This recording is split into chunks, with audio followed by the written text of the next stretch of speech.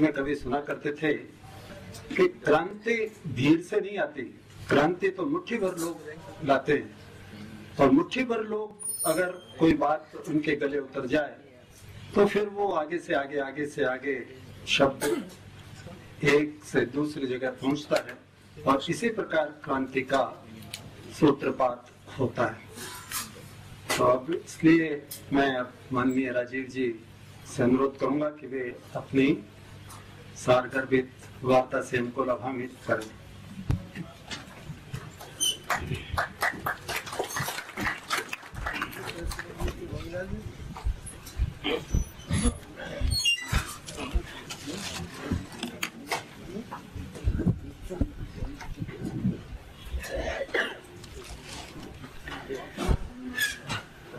आज की इस विचार गोष्ठी में उपस्थित सभी जयपुर के सम्माननीय नागरिक बंधुओं मंच पर बैठे हुए आदरणीय श्री धूत जी, रोटरी क्लब के पूर्व प्रांतपाल महोदय। मैं आपके सामने भारत देश की आज की एक बहुत गंभीर विषय पर वार्ता करने की तैयारी में हूँ। और वो गंभीर विषय क्यों है? क्योंकि हमारे देश में पिछले 10-12 वर्षों से, या अभी कहें तो 15 वर्षों से, सरकार की ओर से बहुत बड़े पैमाने पर एक अभियान चलाया जा रहा है। वो है उदारीकरण वैश्वीकरण ग्लोबलाइजेशन लिबरलाइजेशन। पिछले 10, 12, 15 वर्षों से जब से ये अभियान चल रहा है इस अभियान को अगर मैं समझ पा रहा हूँ तो ये ना तो ग्लोबलाइजेशन है ना तो लिबरलाइजेशन है। ये भारतीय समाज का अमेरिकनाइजेशन करने की कोशिश हो रही है। क्योंकि अगर ग्लोबलाइजेशन की हम बात करें और लिबरलाइजेशन की बात करें तो वो बात कुछ दूसरे तरह की होती है।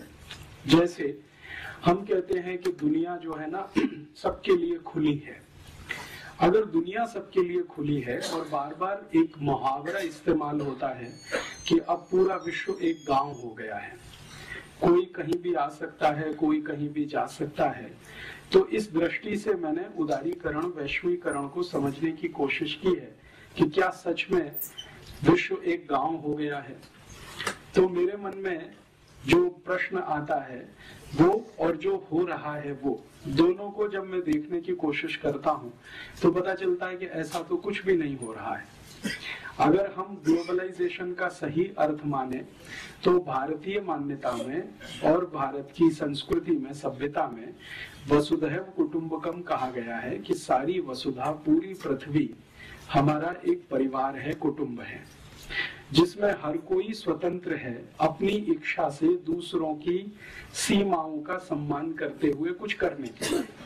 हमारी तो भारत की मान्यता कुछ इस तरह की है। लेकिन क्या दुनिया में वैश्वीकरण और उदारीकरण के नाम पर जो हो रहा है, वो वैसा ही है? तो देखने में आता है कि हो ये रहा है कि अमेरिका और यूरोप की तरफ़ से दुनिया के गरीब देशों को ज़बरदस्ती दबाकर एक तरफा उनको अमेरिका और यूरोप की वस्तुओं का, सेवाओं का बाज़ार बनाने की तैयारी और कोशिश हो रही है। जब हम सही वैश्वीकरण की बात करते हैं तो उसका मतलब यह है कि जिसके पास जो कुछ है कहते हैं ना कि दुनिया में, अभी भारत में हमारे वर्तमान प्रधानमंत्री डॉक्टर मनमोहन सिंह इस वैश्वीकरण उदारीकरण के बहुत बड़े पैरोकार हैं और बहुत बड़े समर्थक हैं। वो हमेशा एक तर्क देते हैं कि दुनिया में सभी लोगों को सस्ती और अच्छी वस्तुओं का खरीदने का और उपभोग करने का अधिकार है। तो ठीक है, किसी देश के पास बहुत अधिक मात्रा में सस्ती और अच्छी वस्तुएँ हैं तो वो दूसरे देश में जाकर उनको बेचे।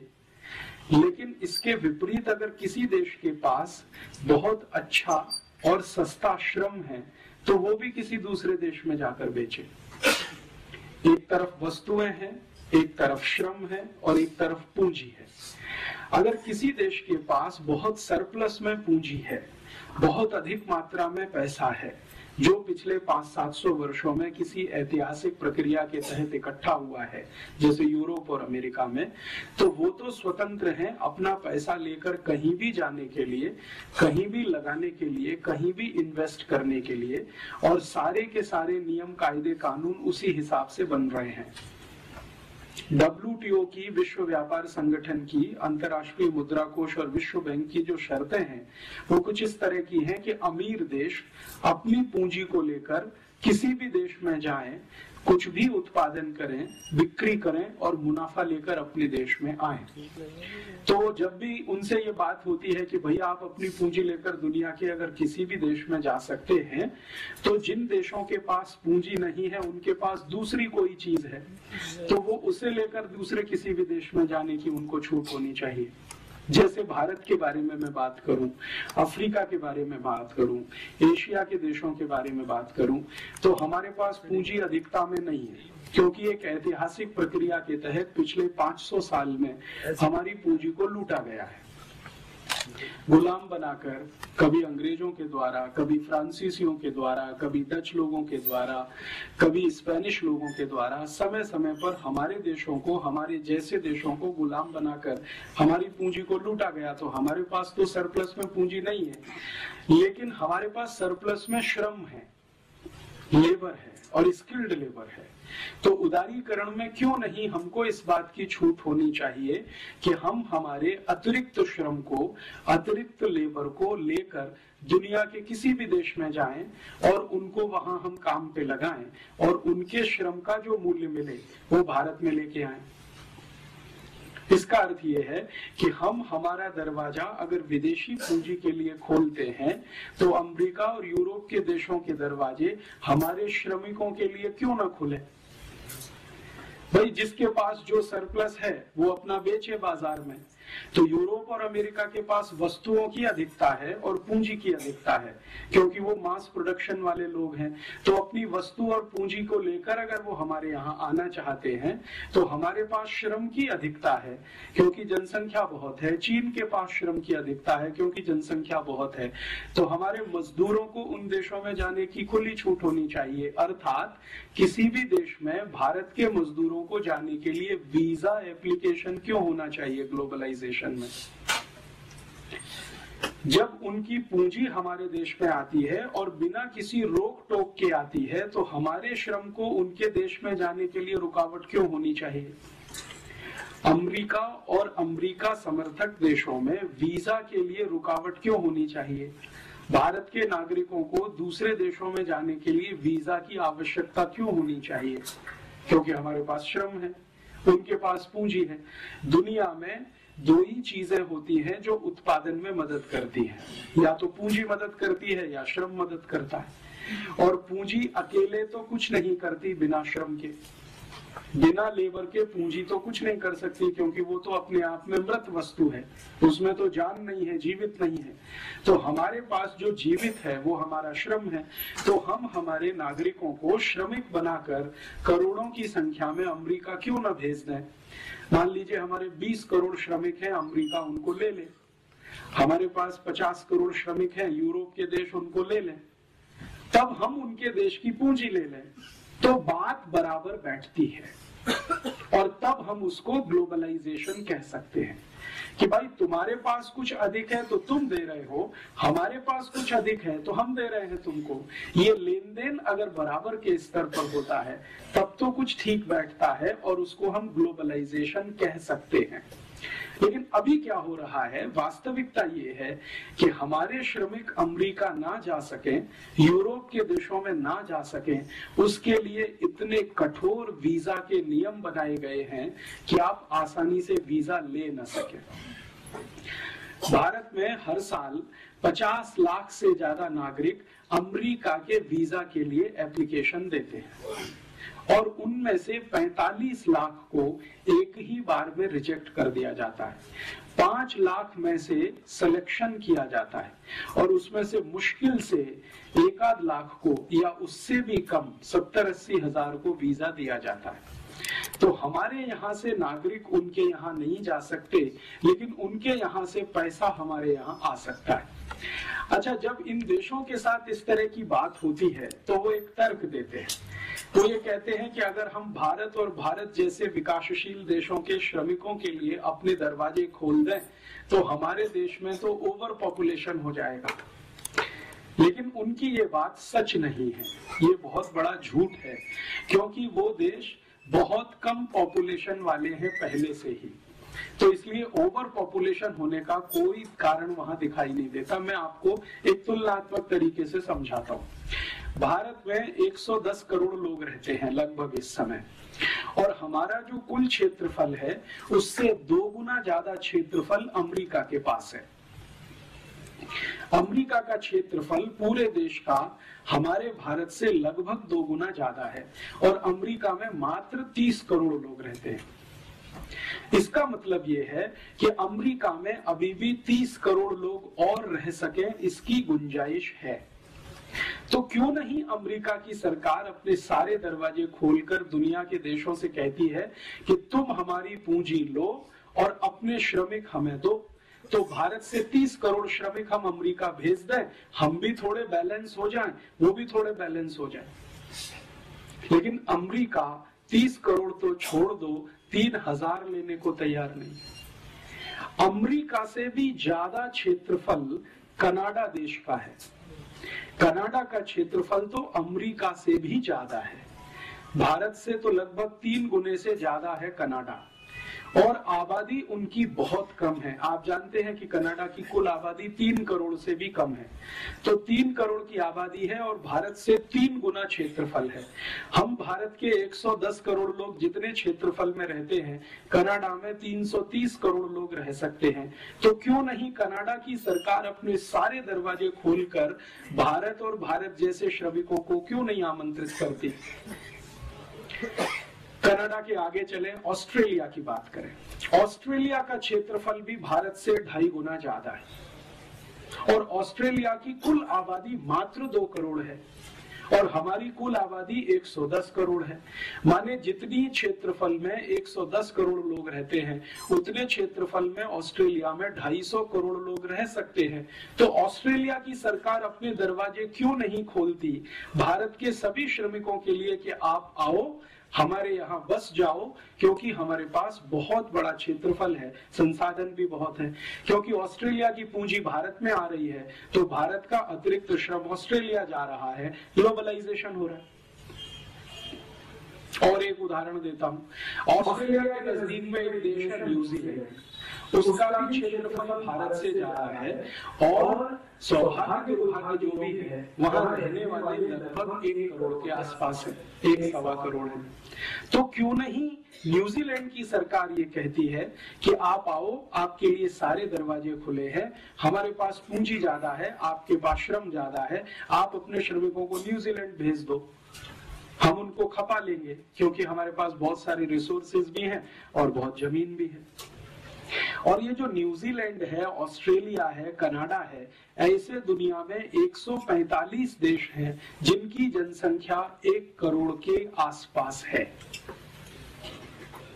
और ये 145 देश एक एक करोड़ के आसपास की जनसंख्या में रहते हैं। और भारत और चीन जैसे जो देश, दो देश जहाँ की कुल जनसंख्या लगभग 250 करोड़ के आसपास है। वो इनसे कम क्षेत्रफल में रहते हैं। तो चीन और भारत के पास श्रम बहुत है, एशिया के पास श्रम बहुत है। तो एशिया के श्रमिकों के लिए, यूरोप और अमेरिका के दरवाजे खुले तो हम उनकी पूंजी के लिए अपना दरवाज़ा खोलें, तब तो बात बनती है ग्लोबलाइजेशन। उदारीकरण, वैश्वीकरण, जिसको हम ईमानदारी से कहें। लेकिन अभी क्या हो रहा है? अभी ऐसा नहीं हो रहा है। अभी जो हो रहा है पिछले 12-15 वर्षों से वो ये कि भारत के श्रमिक और चीन के श्रमिक, बांग्लादेश के श्रमिक या पाकिस्तान के श्रमिक यूरोप के देशों में घुस नहीं सकते, इतने कठोर वीज़ा के कानून पिछले 10-12 वर्षों में बनाए गए और ना सिर्फ़ कठोर कानून बनाए गए हैं, बल्कि बेईमानी भी शुरू की गई है। बेईमानी क्या शुरू की गई है? मैंने आपसे कहा कि 50 लाख हिंदुस्तानी हर साल अमेरिका के लिए वीज़ा एप्लीकेशन देते हैं। उनमें से 45 लाख को तो रिजेक्ट कर दिया जाता है। लेकिन आप जानते हैं कि वीज़ा एप्लीकेशन करते समय फ़ीस देनी पड़ती है। और औसतन फ़ीस अगर आप 500 डॉलर मान लें क्योंकि अलग अलग कैटेगरी के वीज़ा हैं और अलग अलग तरह की फ़ीस है। तो हम सामान्य रूप से माने कि 500 डॉलर की फ़ीस एक एप्लीकेशन के साथ हमको देनी है। तो 50 लाख एप्लीकेशन में 500 डॉलर का मल्टीप्लीकेशन कर लें। तो आप कल्पना करें कि हम हज़ारों लाखों करोड़ों डॉलर वीज़ा एप्लीकेशन फ़ीस के साथ दे रहे हैं। तो जब वीज़ा हमारा रिजेक्ट किया जा रहा है तो ईमानदारी के साथ हमारी फ़ीस वापस होनी चाहिए। लेकिन अमेरिका की कोई भी एम्बेसी हमारी वीज़ा फ़ीस को वापस नहीं करती है। इसका मतलब ये है कि अमेरिका की सभी एम्बेसियाँ पूरी बेईमानी के साथ इस देश को लूटने में लगी हुई। हैं ईमानदारी तो ये है कि अगर आप हमारा वीज़ा नहीं दे सकते तो फ़ीस वापस कर दो और कह दो कि भाई आप अमेरिका जाने के लायक नहीं है। लेकिन हमारी फ़ीस भी नहीं देते, पैसा भी रख लेते हैं, अपमान करके हमको एम्बेसी से निकाल भी दिया जाता है, फिर भी हम वहाँ लाइन लगा के खड़े रहते हैं। मैंने बहुत दुखद दृश्य मेरी आँखों से बार बार देखा है। दिल्ली, मुंबई, कलकत्ता, मद्रास में भारत के लोग गुलामों की तरह से अमेरिका एम्बेसी में वीज़ा के लिए लाइन लगाते हैं, जैसे भेड़ बकरियाँ लाइन लगाती हैं, और उनके साथ इतनी बदतमीजी और इतने अपमान का व्यवहार किया जाता है कि वो सुसाइड कर लेना वहाँ ज़्यादा सम्मानजनक होता है।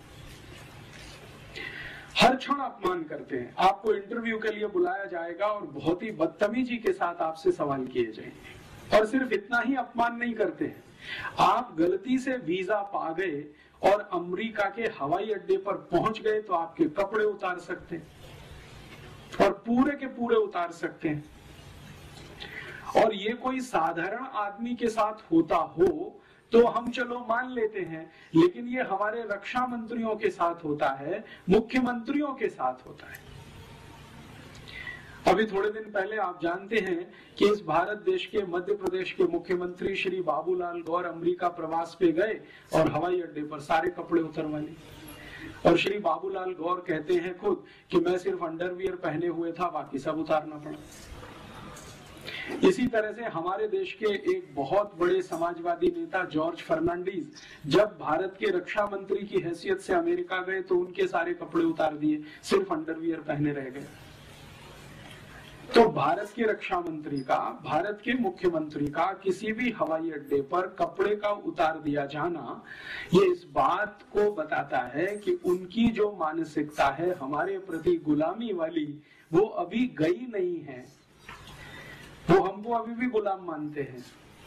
तो फिर ग्लोबलाइजेशन कैसे हो सकता है? जो भी कुछ हो रहा है, वो अमेरिकनाइजेशन ही हो रहा है। वहाँ से तो सब कुछ यहाँ आए। वहाँ की कंपनियाँ यहाँ आए, वहाँ की सेवा करने वाली संस्था यहाँ आए, वहाँ के विशेषज्ञ यहाँ आए, डॉक्टर्स आए चार्टेड अकाउंटेंट्स आए, इंजीनियर्स आए, वहाँ के एडवोकेट्स भारत में आए, सब कुछ वहाँ का यहाँ आए, वहाँ की दाल आए, चावल आए, चना आए, मटर आए, वहाँ की सब्ज़ियाँ आए, सब कुछ। यहाँ से कुछ ना जाए वहाँ। वहाँ की संस्कृति आए, वहाँ की सभ्यता आए, वहाँ की परंपरा आए, सब कुछ आए, यहाँ से कुछ ना जाए वहाँ। तो ये तो कुछ ग्लोबलाइजेशन नहीं है और ये तो कुछ लिबरलाइजेशन भी नहीं है। और ग्लोबलाइजेशन और लिबरलाइजेशन के सही शब्दों को अगर अर्थ करना सीखें, उदारीकरण और वैश्वीकरण की सही परिभाषा करना सीखें तो हमारे यहाँ संस्कृति में बहुत विस्तार पूर्वक कहा गया वसुदैव कुटुंबकम मतलब पूरी दुनिया आपके लिए परिवार जैसी है। माने दुनिया के साथ आप परिवार जैसा व्यवहार करें।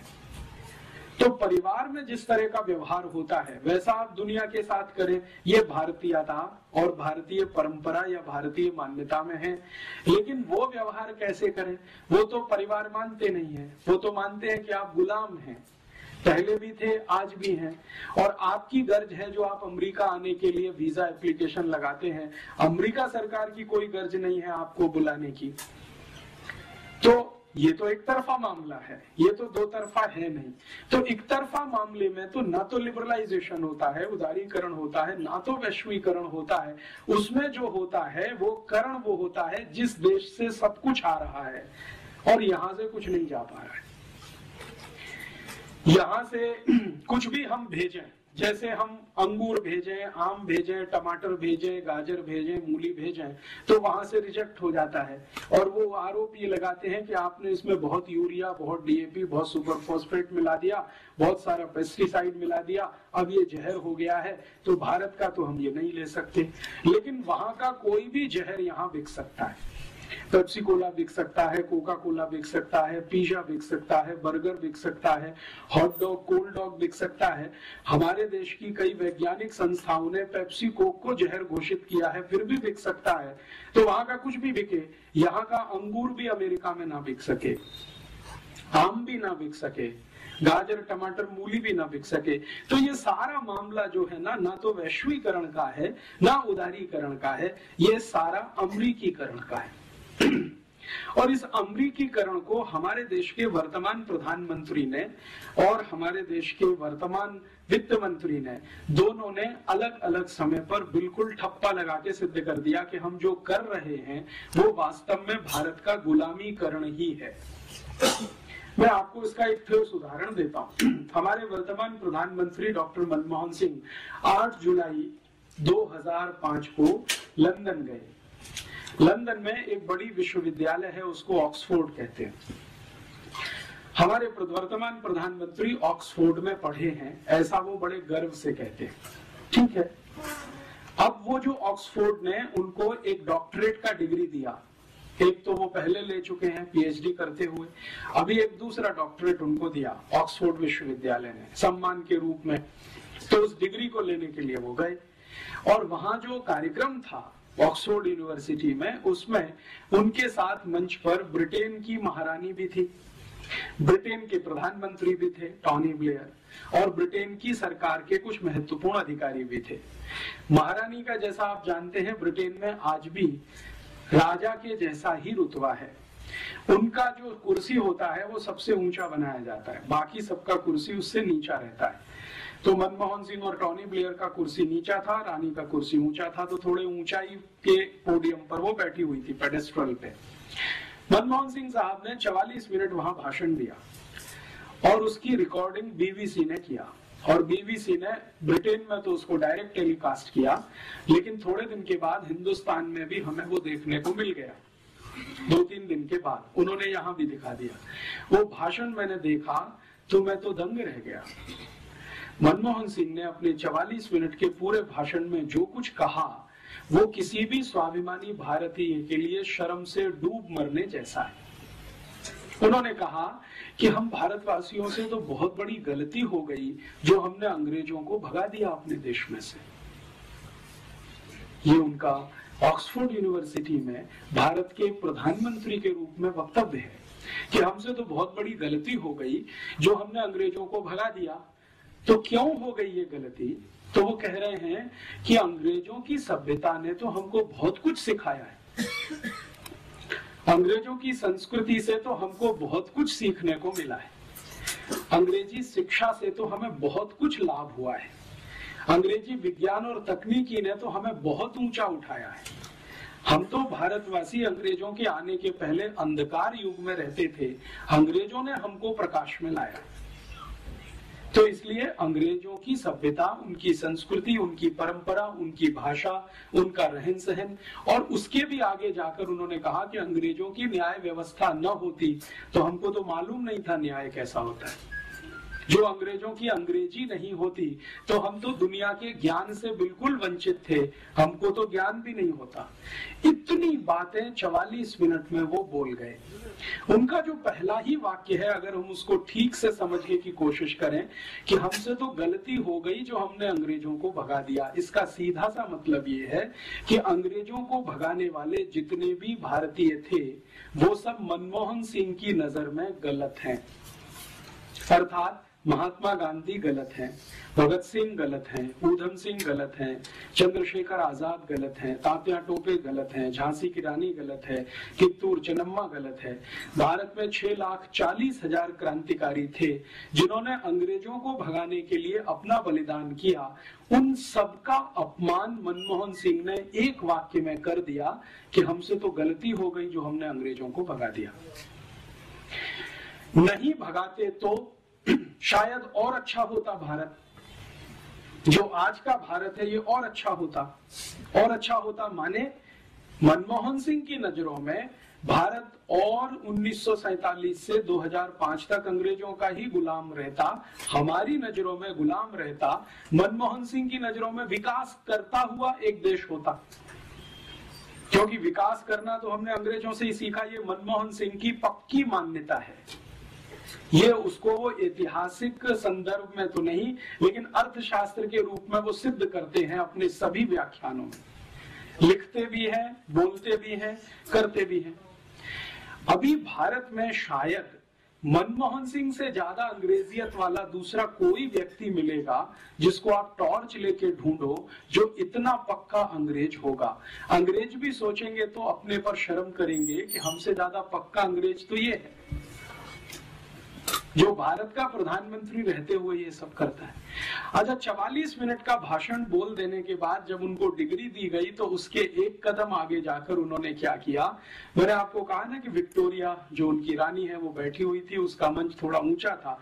तो मनमोहन सिंह उसके पास गए, लिटरली घुटनों के बल उसके सामने बैठे और वो कागज़ हाथ में लिए हुए। जैसे हम किसी भगवान के सामने घुटने में बैठकर वो जो प्रणाम करते हैं ना, मनमोहन सिंह ने ठीक उसी अदा में स्टाइल में विक्टोरिया को प्रणाम किया। घुटनों पे बैठकर, आगे झुककर। इतनी गुलामी अभी तक भारत में है, प्रधानमंत्री स्तर के नेता में। अगले दिन लंदन के बहुत सारे अखबारों में बहुत कुछ छपा। और एक अखबार ने तो सीमा तोड़ कर लिखा कि अभी हमें सोचना पड़ेगा कि भारत आज़ाद हो गया है, हमारी गुलामी से।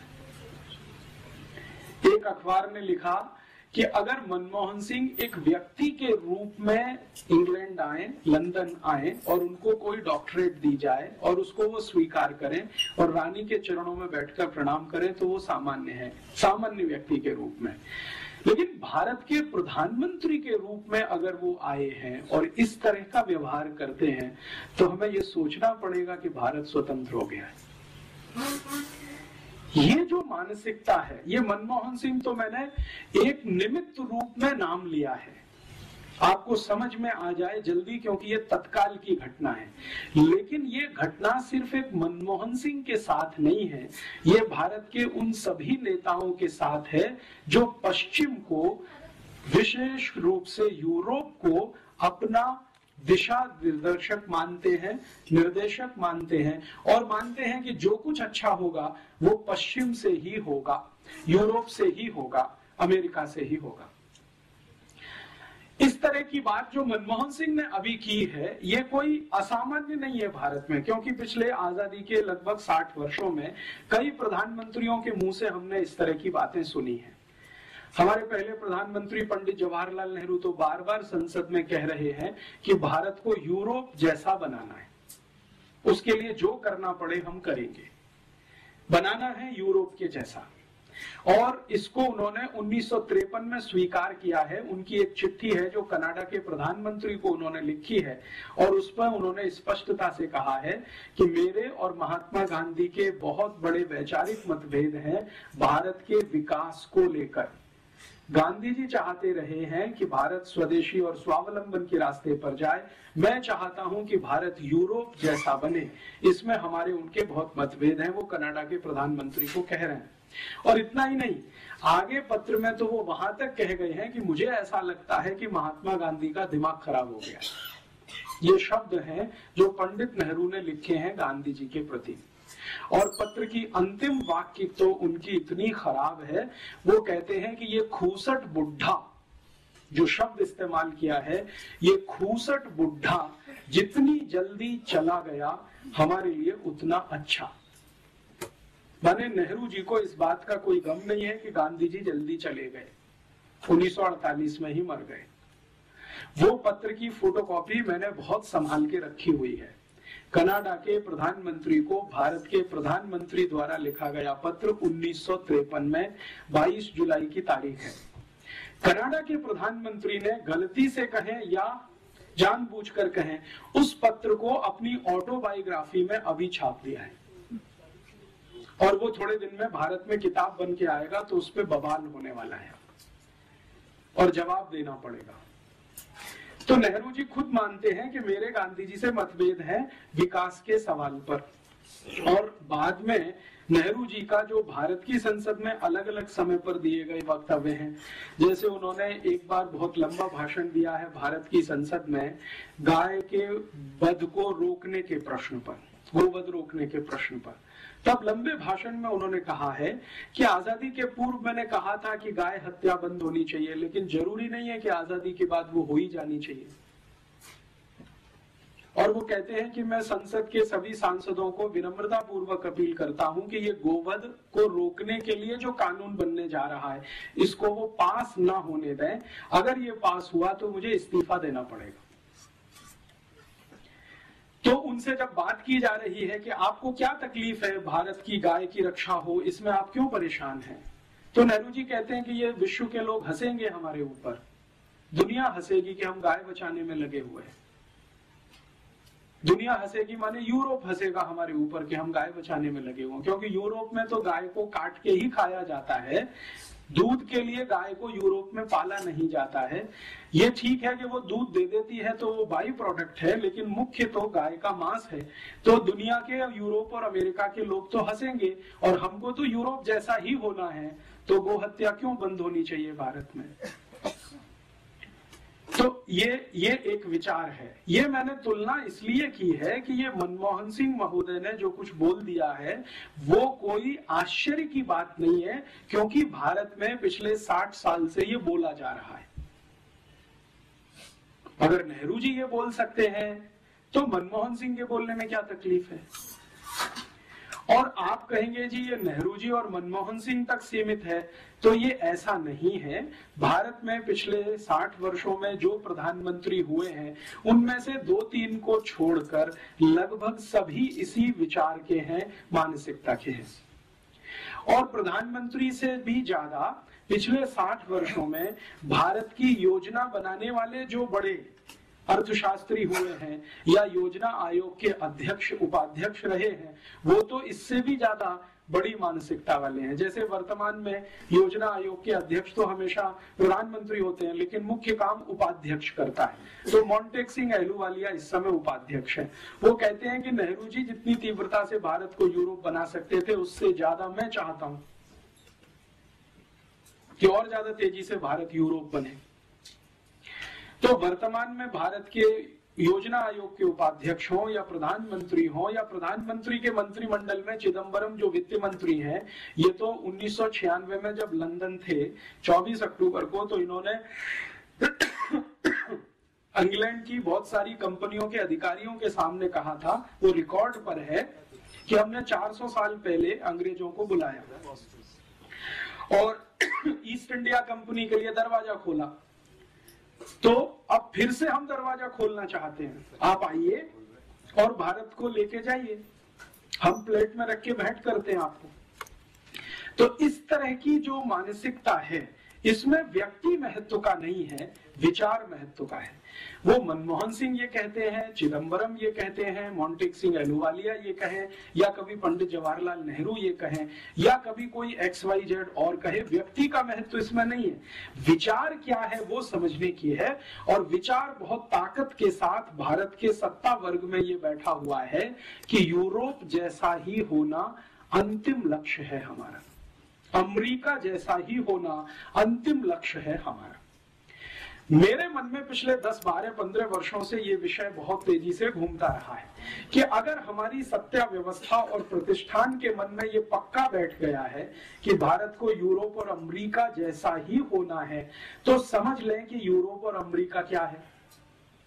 क्योंकि आप जब किसी के जैसा होना चाहते हैं और बिना समझ के होएँगे तो शायद इसमें कष्ट ज़्यादा आएगा। समझ के साथ होएँगे तो शायद बेहतर हो जाएगा।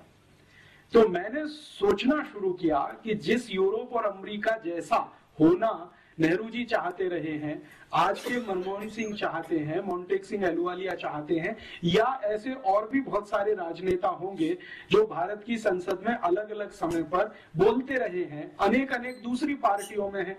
बीजेपी में ऐसे कई नेता हैं जो भारत को अंग्रेज़ और यूरोप जैसा ही देखना चाहते हैं, अपने तरीके से। कांग्रेस में ऐसे बहुत हैं और अब जनता दल में भी ऐसे बहुत हैं, समाजवादी पार्टी में भी बहुत हैं, और अब तो कम्युनिस्टों के बीच में भी एक ही लॉबी है, वो ये कहती है कि भारत को होना तो यूरोप और अमेरिका की ही तरह से है, लेकिन मार्क्सवाद के रास्ते पर, साम्यवाद के रास्ते पर। होना तो आपको वैसा ही है, लेकिन मार्क्सिज्म से होकर, साम्यवाद से होकर आप वहाँ तक जाइए। और दूसरी जो लॉबी है, वो ये कहती है कि कैपिटलिज्म के रास्ते से वहाँ तक जाइए। तो या तो आपको पूंजीवाद से होते हुए यूरोप और अमेरिका तक जाना है, या मार्क्सवाद से होते हुए यूरोप और अमेरिका तक जाना है। लक्ष्य वही है, रास्ते अलग अलग हैं। तो ऐसी परिस्थिति में मेरे मन में एक विचार आया कि ये गांधी जी क्या कहते हैं, यूरोप और अमेरिका के बारे में, जिसको नेहरू जी खूसट बुड्ढा कहते हैं। गांधी जी के मन में क्या है? तो गांधी जी की लिखी हुई सबसे पहली एक किताब मैंने पढ़ी, जो उन्होंने 1909 में लिखी थी, हिंद स्वराज बहुत पतली सी पुस्तक है और मेरी विनम्र प्रार्थना है, आप सब पढ़ें तो बहुत अच्छा है। तो उनके बारे में बहुत सारी जो गलत फहमियाँ समाज में है, वो दूर हो जाए शायद। उस पुस्तक में गांधी जी लिख रहे हैं कि ये यूरोप और अमेरिका की जो सभ्यता है, ये तो बिल्कुल शैतानी सभ्यता है।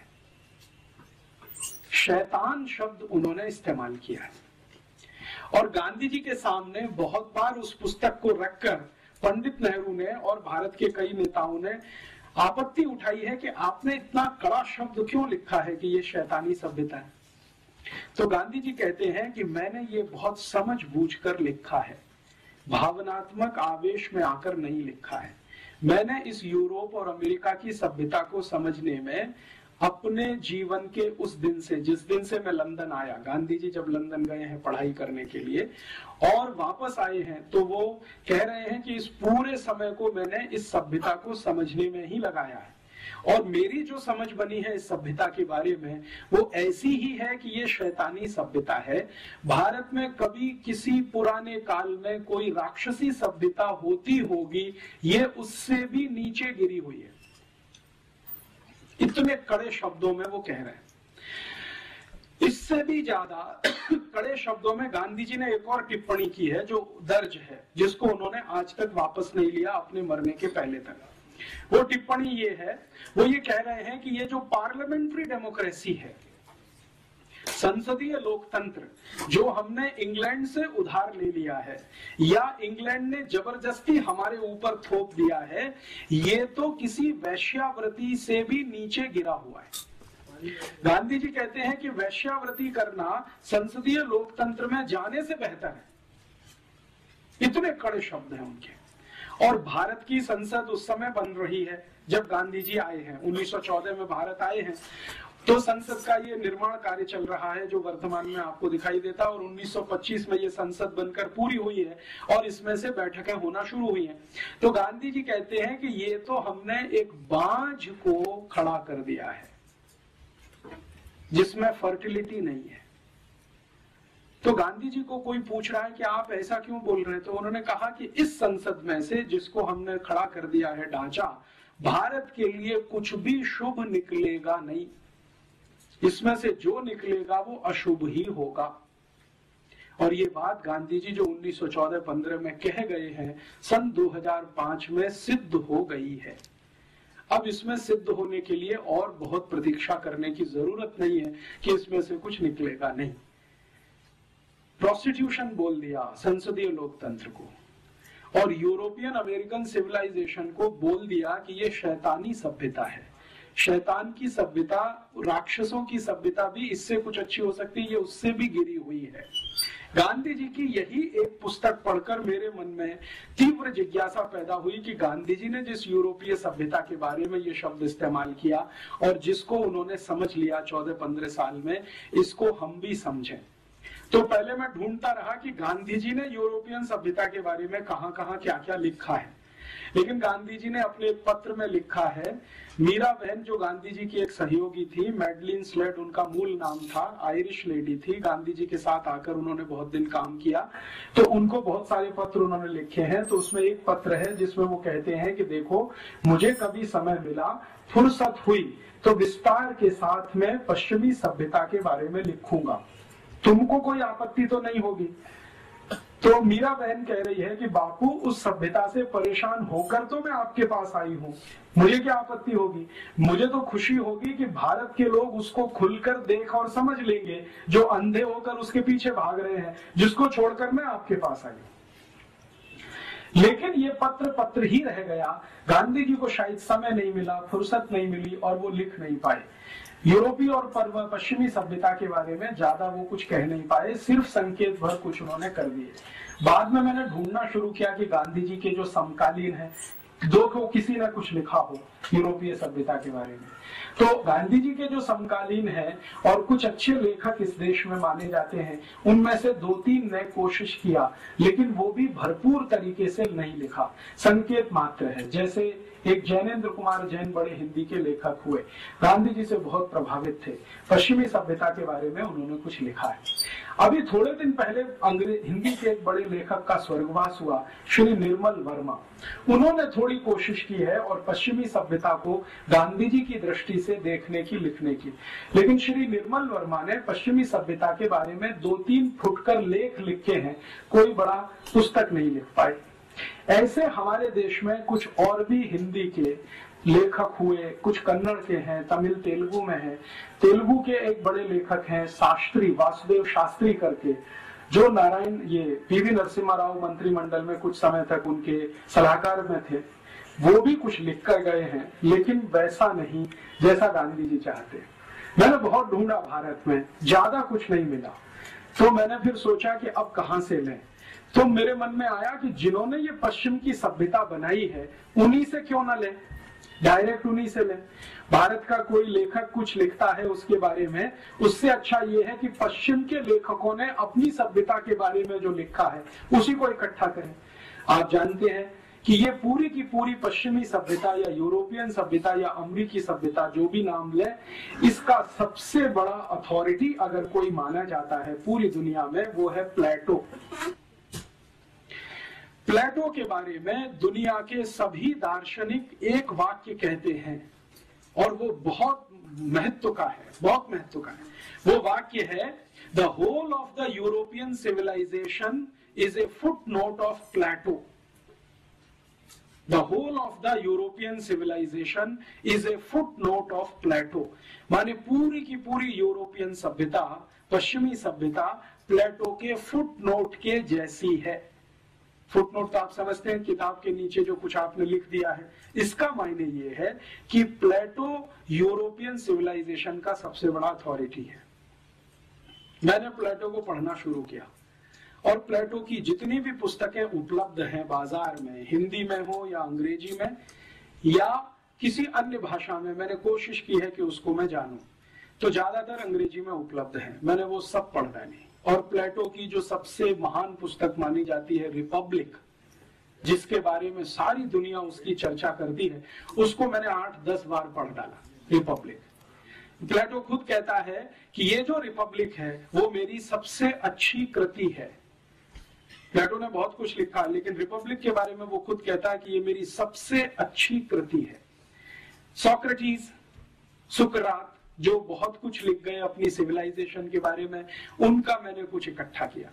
देकारते बहुत बड़े दार्शनिक हैं यूरोप के, उनका बहुत कुछ इकट्ठा किया। लेविनिज बहुत बड़े फिलोसोफर माने जाते हैं, उनका इकट्ठा किया।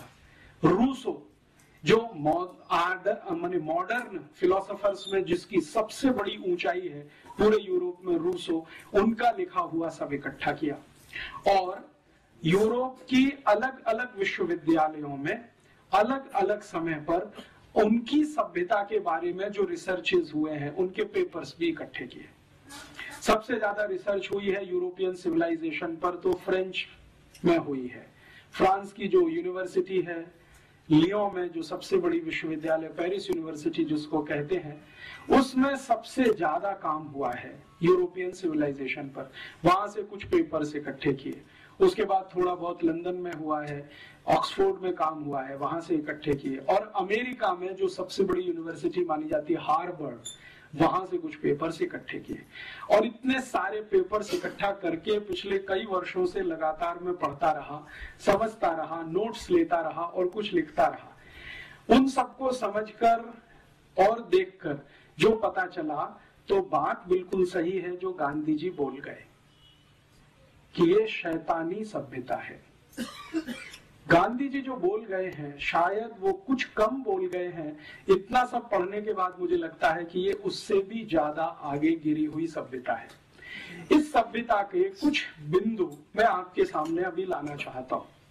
जिस यूरोपियन और अमेरिकन सिविलाइजेशन की तरफ़ हम अंधे होकर दौड़ रहे हैं, हमसे मतलब हमारी राज व्यवस्था हमारी जो पॉलिटिकल इकोनॉमी है वो अंधा होकर जो दौड़ रही है और हमारे देश के जो राज्य चलाने वाले लोग हैं, उसको मैं समझना चाहता हूँ कि इसमें बुराई क्या है और कुछ अच्छाई है तो वो भी दिखाई दे। तो उस दृष्टि से मैंने थोड़ा तटस्थ होकर उनके यहाँ से कुछ इकट्ठा किया है। मेरे अपने पंद्रह साल का जो अभ्यास क्रम है इस विषय का, वो ये बताता है कि किसी भी सभ्यता को अगर देखना हो, ठीक से समझना हो तो उसकी प्राइवेट लाइफ आपको पता होना बहुत आवश्यक है। क्योंकि जो सिविलाइजेशन होती है, वो प्राइवेट लाइफ से शुरू होती है। निजी जीवन जो होता है आपका, वो आपकी सिविलाइजेशन को पूरी तरह से बताता है। जो सार्वजनिक जीवन है, वो सिविलाइजेशन को कई बार नहीं बताता। क्यों? क्योंकि सार्वजनिक जीवन में आप कई बार पाखंड कर रहे होते हैं ढोंग कर रहे होते हैं, आप जो नहीं होते हैं, उसको दिखाने की कोशिश कर रहे होते हैं। तो सार्वजनिक जीवन तो बहुत विवादास्पद हो जाता है। निजी जीवन में विवाद नहीं होता, क्योंकि वहाँ जो है, वो है। घर के अंदर आप जैसे हैं। वो आपका प्राइवेट लाइफ बता देता है कि आपकी सिविलाइजेशन कैसी है। तो यूरोपियन परिवार की या यूरोपियन समाज की, और यूरोपियन समाज में मैं जब भी कहूँगा तो अमेरिका शामिल है। तो यूरोपियन समाज की निजी ज़िंदगी को जानने की पिछले कुछ साल में कोशिश करता रहा। उसमें से जो तथ्य निकल कर आए हैं, वो बहुत ऐसे हैं जो झकझोर देते हैं। कई बार स्वीकार नहीं होते हैं। कई बार डाइजेस्ट नहीं होते हैं। मुझको ये सारे तथ्य डाइजेस्ट होने में बहुत साल लगते हैं। और मैं, मेरे गुरु जिनका नाम है श्री धर्मपाल, जिन्होंने मुझे इस काम में बहुत बड़ी मदद की, उनके साथ इस विषय पर घंटों घंटों बहस करता रहा हूँ पिछले उन्नीस सौ सत्तानवे से आज तक। तो वो ये कहते हैं कि तुमको क्या तकलीफ़ होती है ये सत्य को स्वीकार करने में, जैसा वो है? मैंने कहा, मुझे जो बताया गया है यूरोप के बारे में और अमेरिका के बारे में, वो इन तथ्यों से बिल्कुल उल्टा है।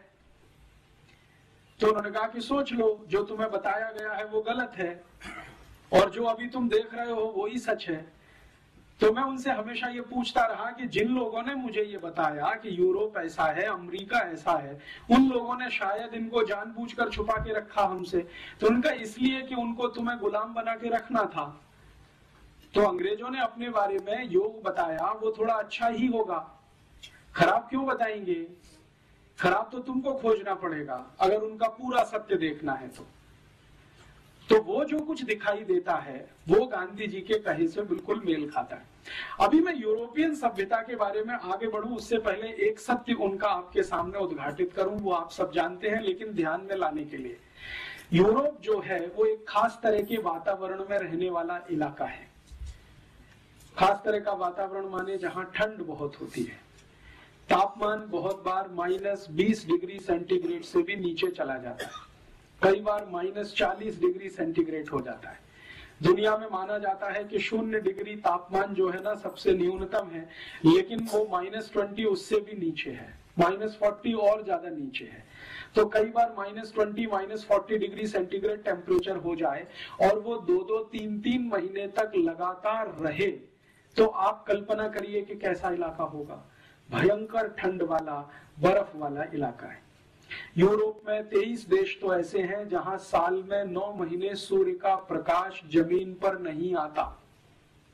23 देशों में तो सूर्य का प्रकाश नौ महीने तक ज़मीन पे नहीं आता। परिणाम क्या होगा? जिन देशों में नौ महीने तक सूर्य का प्रकाश ज़मीन पर नहीं आएगा, वहाँ की ज़मीन में घास का तिनका कैसे उगेगा?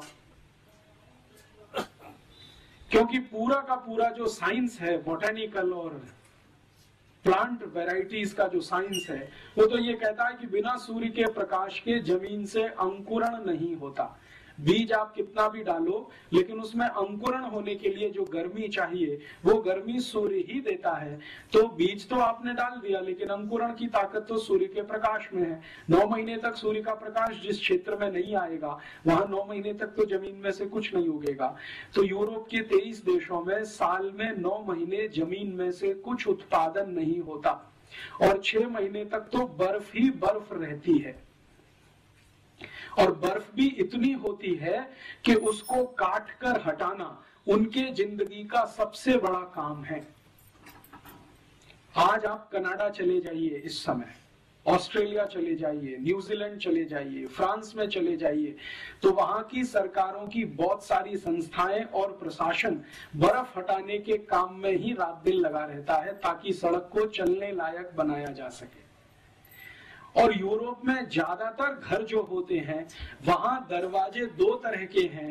एक तो आपका फ्रंट डोर है और एक छत के ऊपर से है।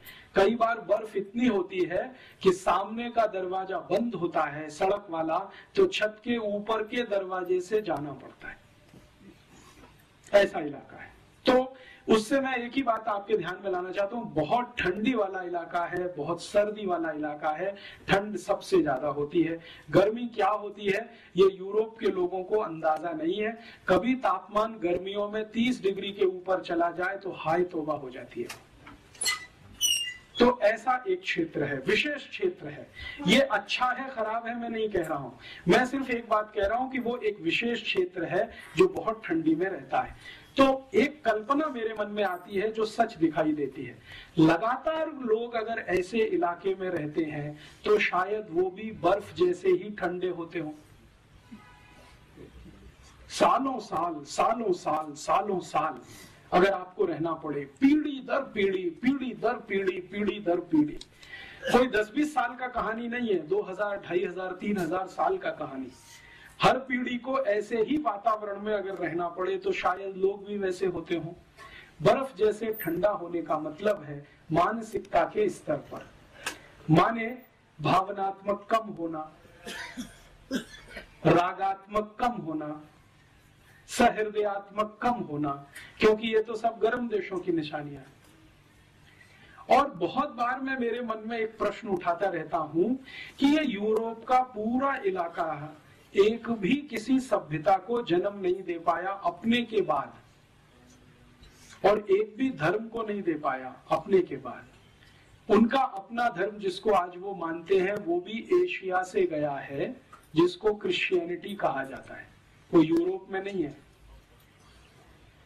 आप जानते हैं इसराइल है। इसराइल एशिया में है और इसराइल उतना ही गर्म स्थान है जितने हम लोग हैं। हमारे यहाँ जिस तरह का वातावरण है, लगभग उसी तरह का वहाँ है। अरब देशों में जिस तरह का वातावरण है, लगभग इसराइल में वैसा ही है। तो सामान्य रूप से एशिया को गर्म माना जाता है। तो ये गर्म स्थान में से ही ईसाइत निकली है। इसी गर्म स्थान में से इस्लाम निकला है और इसी गर्म स्थान में से हिंदुइज्म निकला है। या भारतीयता निकली है। क्या कारण है? ठंडे इलाकों से कोई धर्म नहीं निकलता। शायद उनके ठंडेपन के कारण। क्योंकि ठंडे इलाकों के लोगों की जो प्राथमिकताएँ हैं, वो गर्म इलाके के लोगों से बिल्कुल अलग होंगी। आप जरा सोचें। अगर मान लीजिए लगातार पीढ़ी दर पीढ़ी आपको बहुत बर्फ़ के क्षेत्र में रहना है तो आपकी प्राथमिकताएँ तो बिल्कुल अलग होने वाली हैं। उन लोगों से जो पीढ़ी दर पीढ़ी पीढ़ी दर पीढ़ी गर्म इलाकों में रहते हैं, तुलनात्मक रूप से प्राथमिकताएँ तो अलग होने ही वाली। तो प्राथमिकताओं के अलग होने से शायद और दूसरी चीज़ें भी आती होंगी। अगर हमारी प्राथमिकता है तो उसमें से हम अपनी तरह की दुनिया बनाएँगे। सारी दुनिया प्राथमिकता के हिसाब से बनती है। हमारे घर की कुछ प्राथमिकताएँ हैं, उसके हिसाब से हम हमारा घर बनाते हैं।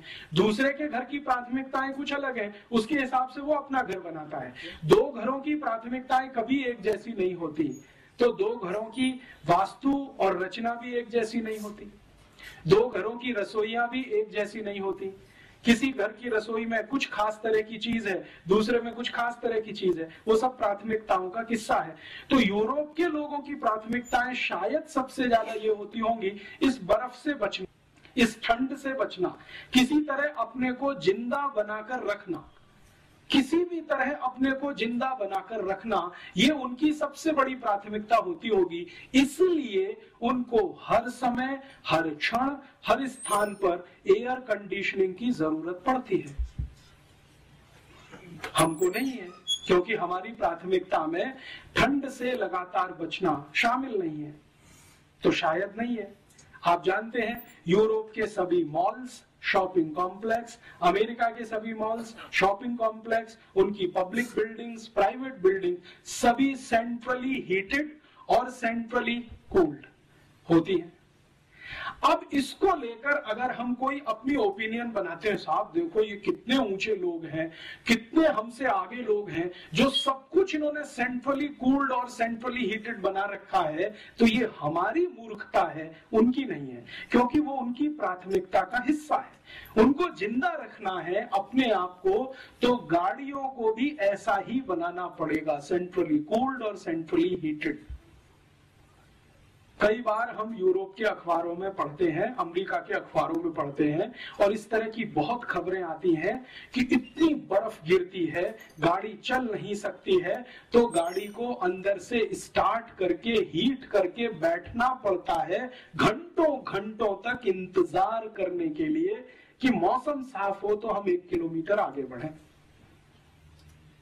अब हम इसको एक विशेषता के रूप में जब प्रचारित करना शुरू करें, अरे साहब, यूरोप की तो सभी कारें सेंट्रली हीटेड होती हैं तो वो हमारी मूर्खता है, उनकी वो विवशता है।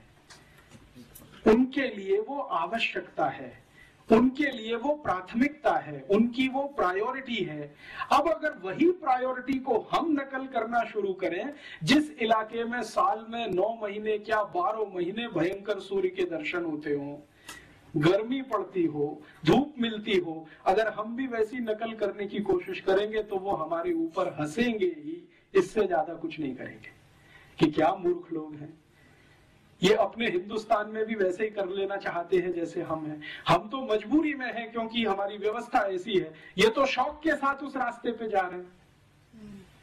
मैं कहना ये चाहता हूँ कि शायद हिंदुस्तान की सभी गाड़ियों को सेंट्रली हीटेड और सेंट्रली कूल करने की ज़रूरत नहीं है, क्योंकि मौसम ही हमारे यहाँ इस तरह का है।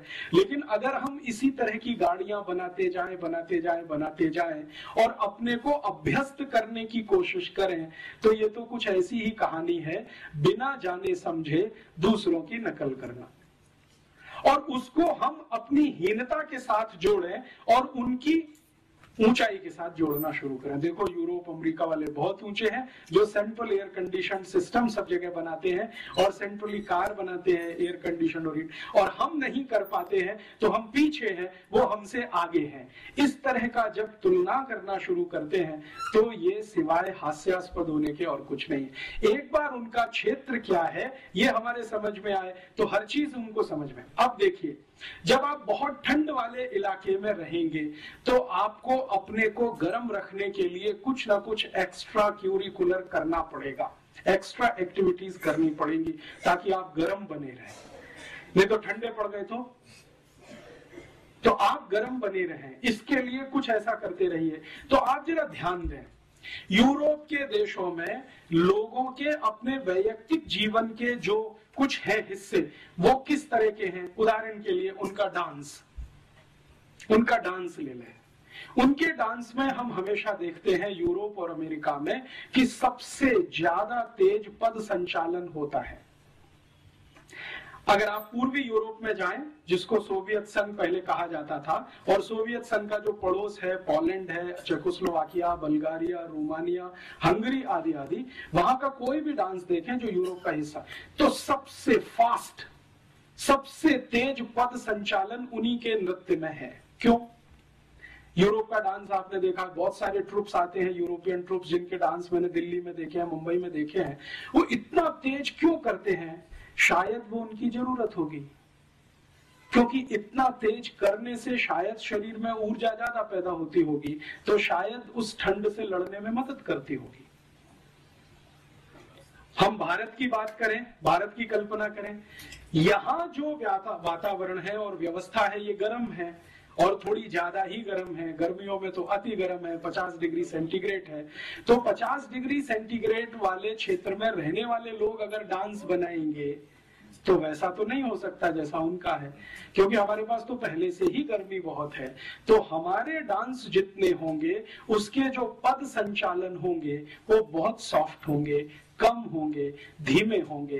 रिदम भी उतना ही धीमा होगा, पद भी उतने ही धीमे रखे जाएँगे, संचालन भी उतना ही धीमे होगा। अब इसको लेकर हम जब ये कंपैरिजन करें कि भाई उनका डांस तो बहुत अच्छा है पॉप है रॉक है और उनका जो म्यूज़िक है वो इतना फास्ट है, क्योंकि म्यूज़िक फास्ट होना ही पड़ेगा जब डांस फास्ट है।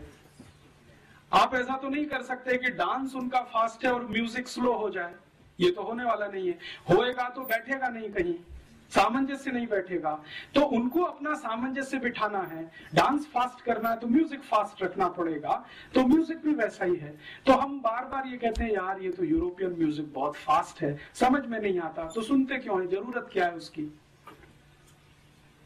उस ठंडे क्षेत्र के लोगों की जो निजी ज़िंदगी है, वो कैसी है? प्राइवेट लाइफ कैसी है? अभी मैं आपसे जो बात करूँगा, वो पिछले लगभग 2000 साल की बात करूँगा। एक साथ बात करूँगा। क्योंकि सन के हिसाब से करूँगा, बहुत लंबा हो जाएगा। आज से लगाकर पिछले 2000 साल तक, माने आज सन 2005 है तो लगभग पहली शताब्दी तक। कैसा है यूरोप का निजी जीवन? आज भी चल रहा है, लगभग उतना ही जो मैं कहूँगा आपसे। और ये जो कहूँगा, वो प्लेटो के हिसाब से सोक्रेटिस के हिसाब से दिकारते के हिसाब से लेबिनिज के हिसाब से, उनके जो प्राइवेट लाइफ के रिसर्चर्स हैं, उनके हिसाब से कहूँगा, मेरे हिसाब से नहीं कहूँगा ये जो प्राइवेट लाइफ है, निजी जीवन है, इसमें मैं शुरू करता हूँ परिवार से, कि वहाँ परिवार कैसा है। और फिर हमारे यहाँ कैसा, उसमें मैं आऊँगा, तुलना के लिए। परिवार कैसा है तो उसमें आपको सुनकर आश्चर्य होगा कि पिछले 2000 साल से यूरोप में परिवार नहीं है। परिवार के नाम पर किसी तरह का एक कॉन्ग्लोमेरेशन है। हम जो परिभाषा करते हैं ना परिवार की, वैसा वहाँ कुछ भी नहीं है। सत्तर प्रतिशत से ज़्यादा लोग आज भी यूरोप में बिना परिवार के रहते हैं। बिना परिवार के रहते हैं माने या तो पत्नी, या तो पति, या तो स्त्री, या तो पुरुष अलग अलग तो परिवार तो बनता नहीं है। एकल पिता, एकल माता सिंगल पेरेंट्स एक शब्द चलता है यूरोप में। सिंगल मदर और सिंगल फादर ये बहुत बड़े पैमाने पर है। सत्तर प्रतिशत लोग इसी में हैं। लगभग। अमेरिका में भी लगभग वैसा ही है। अब ये जो कुछ है, सत्तर प्रतिशत बिना परिवार के तो वहाँ तो कुछ ऐसा है नहीं। परिवार का जो इंस्टीट्यूशन है, जिसकी मिनिमम क्वालिफिकेशन हम कुछ मानते हैं कि एक पति होनी चाहिए, एक पत्नी होना, पति होना चाहिए, एक पत्नी होना चाहिए, बच्चे होने चाहिए माता पिता होने चाहिए, माने पति पत्नी के माता पिता होने चाहिए आदि आदि जैसी हमारी कल्पना है, वैसा वहाँ कुछ नहीं है। वहाँ तो सिंगल पेरेंट्स हैं आइदर स्त्री और पुरुष। जो है, ऐसे इलाके में बच्चों की क्या स्थिति है? बच्चे कैसे हैं? तो बहुत आश्चर्य की बात है ये जानना और समझना कि पूरी की पूरी यूरोपियन सोसाइटी या यूरोपियन सभ्यता पैट्रियार्कियल है, पितृसत्तात्मक है। मात्र सत्तात्मक वहाँ कुछ भी नहीं है। जो कुछ भी है, वो पिता के आसपास है, पिता के केंद्र में है। माता का कोई केंद्र पूरे यूरोप और अमरीकी सभ्यता में नहीं है। प्लीज़ आप अगर चाहें तो इस हॉल से बाहर जाए। प्लीज़ मैं आप दोनों से कह रहा हूँ। आपसे मैं दोनों से कह रहा हूँ, आप चाहें तो इस हॉल के बाहर चले जाएँ, क्योंकि मुझे बोलने में बहुत तकलीफ़ हो रही है। और दूसरों को सुनने में तकलीफ़ हो रही है। कम से कम आप आप यहाँ अमरीकी सभ्यता का ये लक्षण पेश ना करें कि आप इंडिविजुअल हैं और हम सब एक समाज के हाँ। तो वो आप मेरे व्याख्यान की बात कहिए ना। ये तो जाने की कह रहे थे। तो आप जाने दीजिए ना उनको। आप जो है इतना डिस्टरबेंस कर रहे हैं कोई तो इतना डिस्टरबेंस नहीं कर रहा है यहाँ पे। So hot in hot country. लेकिन आप जो है इतना ज़्यादा क्यों मिसबिहेव कर रहे हैं? आपका मिसबिहेवियर मुझे हॉट होने के लिए मजबूर कर रहा है। इतनी देर से मैं देख रहा हूँ कि आप दोनों अपनी गपशप कर रहे हैं तो बाहर जाके करें। ये तो आप बाद में कह सकते हैं। ठीक है। लेकिन इस तरह से आप बैठ बैठकर बात करेंगे तो भारतीय सभ्यता के अनुकूल नहीं बैठता कहीं भी. हाँ। तो अगर आपको नॉनसेंस लगता है तो यहाँ से जाइए आप यहाँ क्यों बैठे हैं?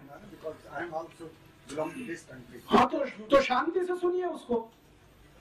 अगर सुनना है तो शांति से सुनिए उत्तर देना है तो शांति से दीजिए। ये तो कोई तरीका नहीं है कि कोई बात कर रहा है और आप बीच बीच में अपनी बात करें तो वो बाहर जाके कर सकते हैं आप। इस हॉल में दो दरवाजे हैं. हाँ.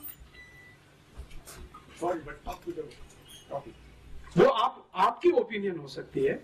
सबकी नहीं है वो। अरे आपको रुचि नहीं है तो जाइए ना। आप बहस बात कर रहे हैं डिस्टर्ब मत करिए आप? सबको डिस्टर्ब डिस्टर्ब किए जा रहे हैं क्या मतलब? चलिए सर, आप बोलिए। मैं उनकी जो प्राइवेट लाइफ में परिवार की बात कर रहा था, परिवार जैसा कुछ बन नहीं पाया है आज तक। सिंगलटन सब कुछ है, एक माता है, एक पिता है, और उसके साथ बच्चे चाहे तो है, नहीं तो ऑर्फेनेज में है। ज़्यादातर इस तरह की स्थिति है। तो परिवार की जैसी हमारी कल्पना है, वैसा कुछ नहीं है। हम जब अपनी शब्दों को इस्तेमाल करते हैं तो कल्पना भी उसके साथ हमारी ही जुड़ती है। जैसे हम कहते हैं ना, यूरोपियन परिवार तो परिवार की हमारी परिभाषा वहाँ बैठती नहीं है। उनकी जो परिभाषा है उसमें वो एकल परिवार भी परिवार माना जाता है। वो मैं कहना ये चाहता हूँ उनके यहाँ अकेली कोई माँ अपने बच्चे के साथ रहती है तो वो परिवार ही माना जाता है। अकेला पिता अपने बच्चे के साथ रहता है तो परिवार ही माना जाता है। भारत में वो मान्यता नहीं है। भारत में तो माता पिता साथ में रहते हैं बच्चे उनके साथ में हैं और सिर्फ़ माता ही पिता नहीं।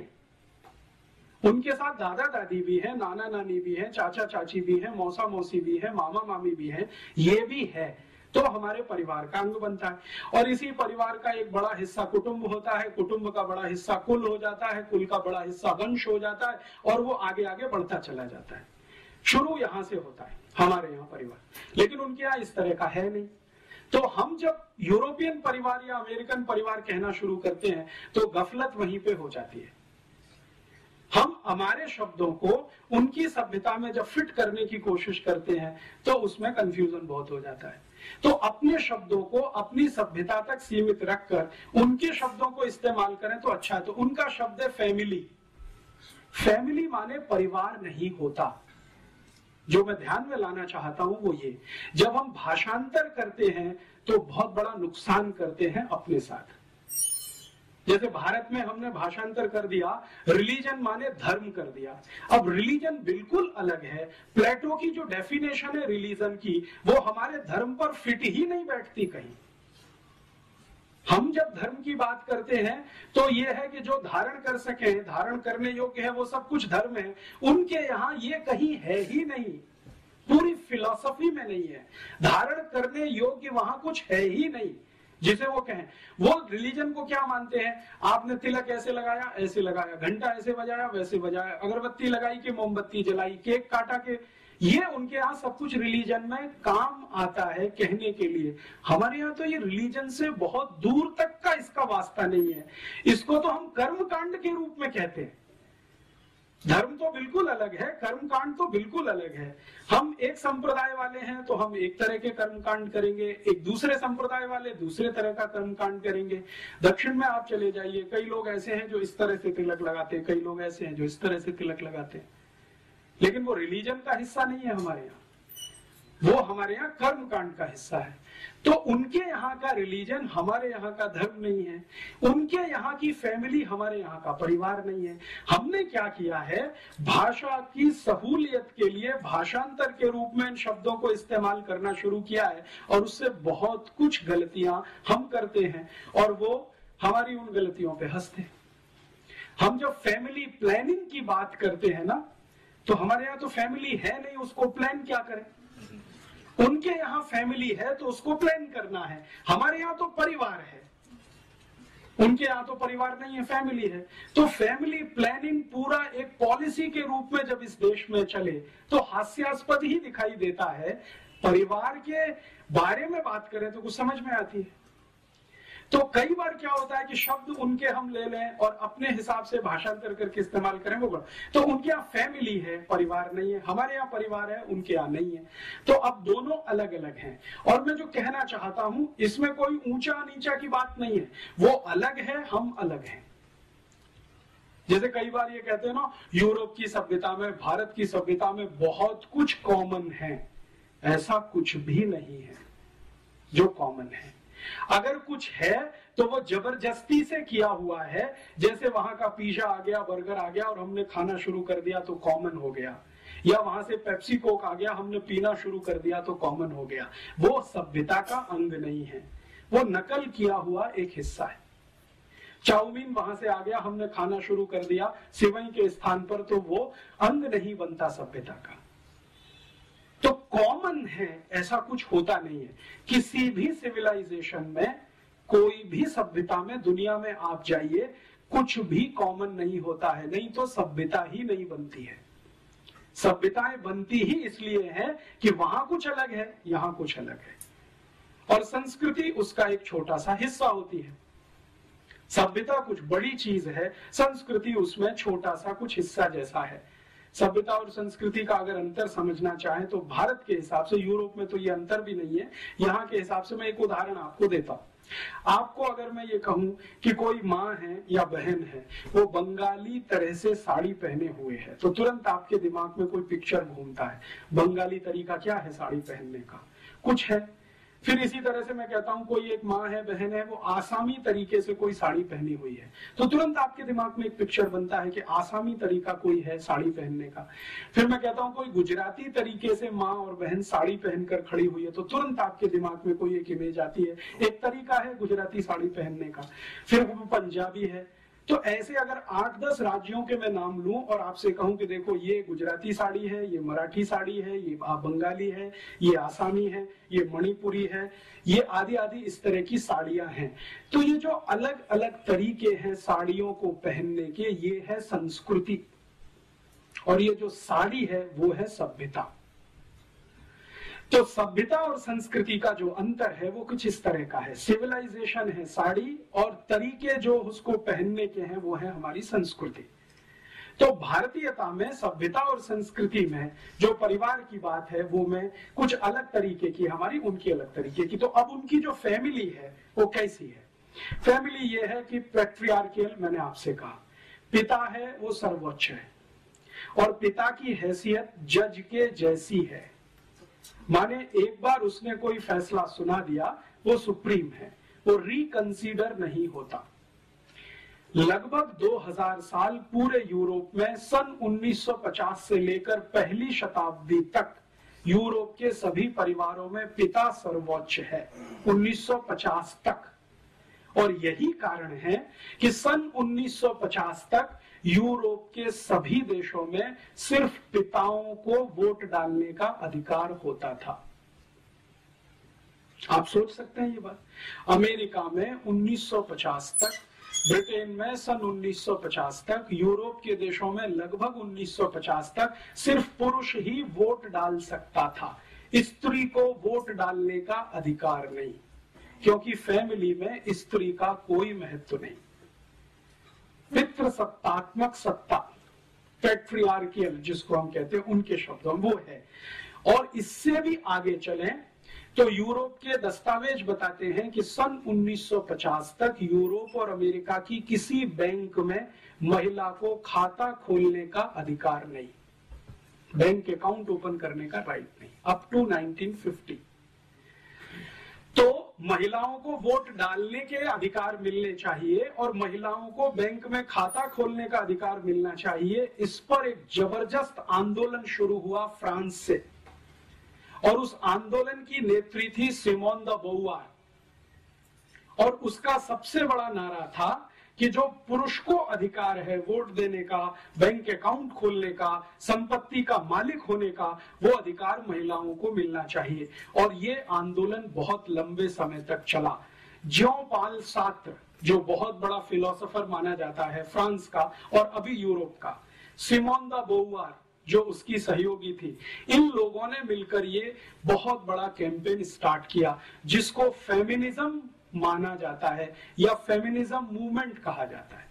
स्त्री मुक्ति आंदोलन जैसा हम उसका भाषांतर भारत में करते हैं। स्त्री को मुक्ति किससे?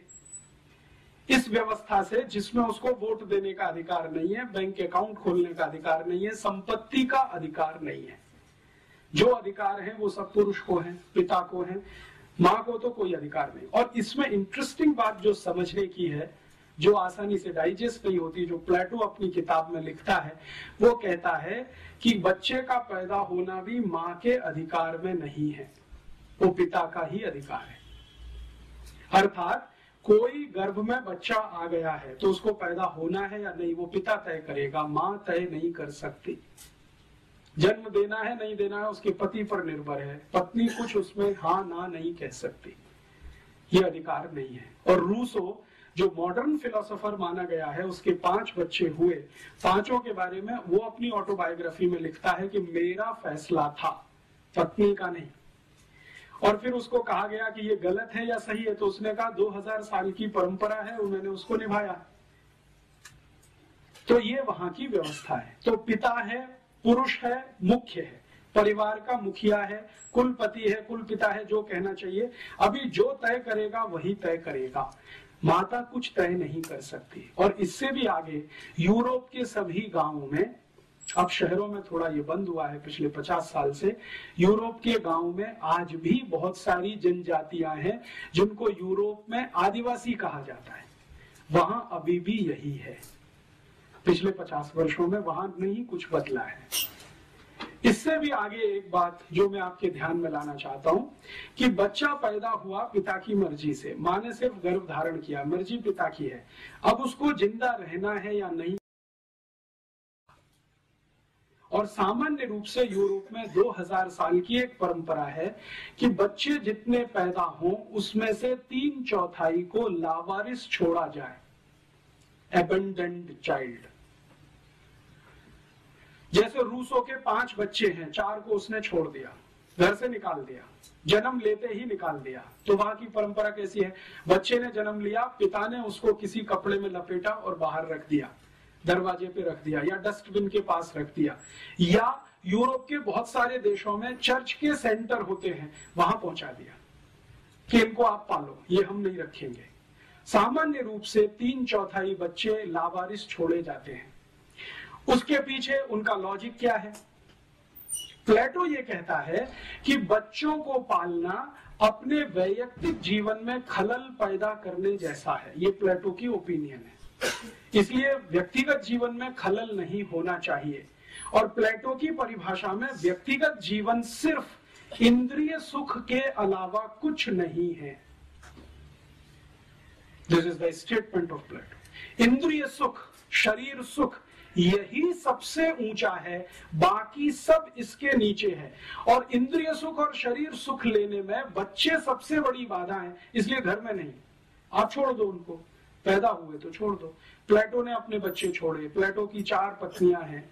उसमें से एक शादी वाली है, तीन बिना शादी के हैं तो जितने बच्चे हैं सब छोड़े। सोक्रेटिस ने यही किया लेबिनिज ने किया दिकारते ने किया, रूसो ने किया, सभी फिलोसोफर्स अपने बच्चों को लावारिस छोड़ते हैं।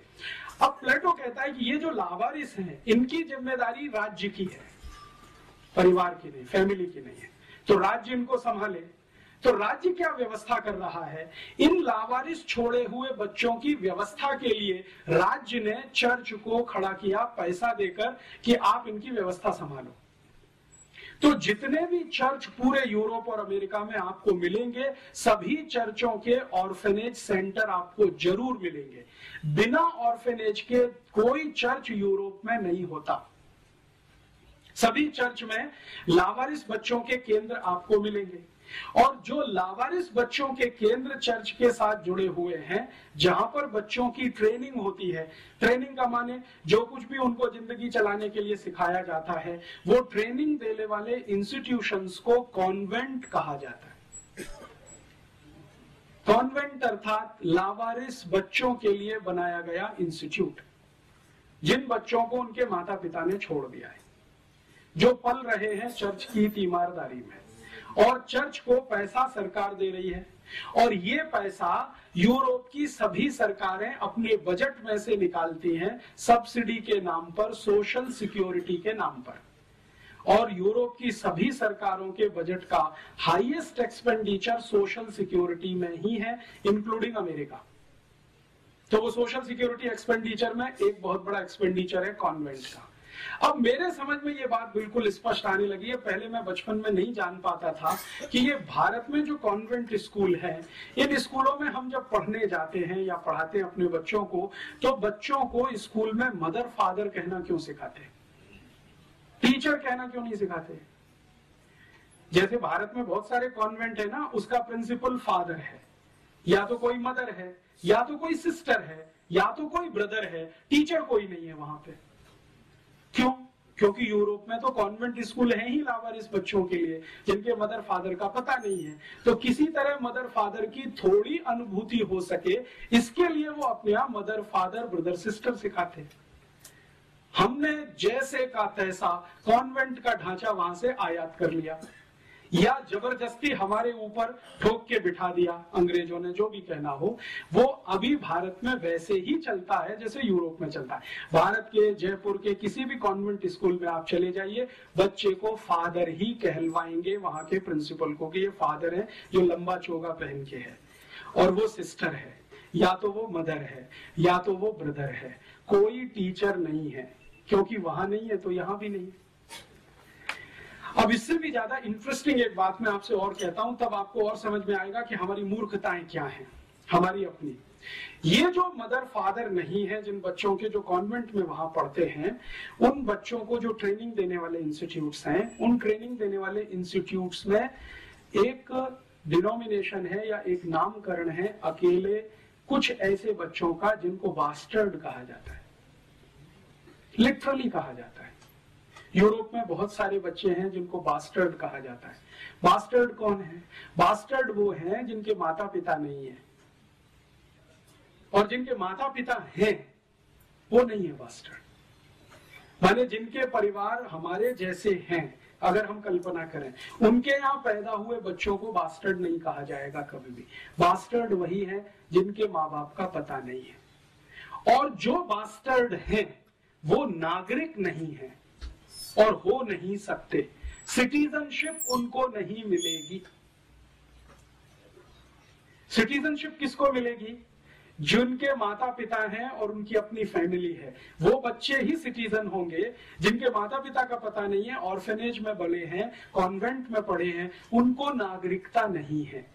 और आपको सुनकर आश्चर्य होगा 1935 तक इंग्लैंड में और यूरोप में कॉन्वेंट पढ़े हुए किसी भी बच्चे को नागरिकता नहीं मिली। कई लोगों को तो संघर्ष करना पड़ा नागरिकता के लिए। मैं आपको एक नाम बताता हूँ। रोम में एक राजा हुआ क्लॉडियस।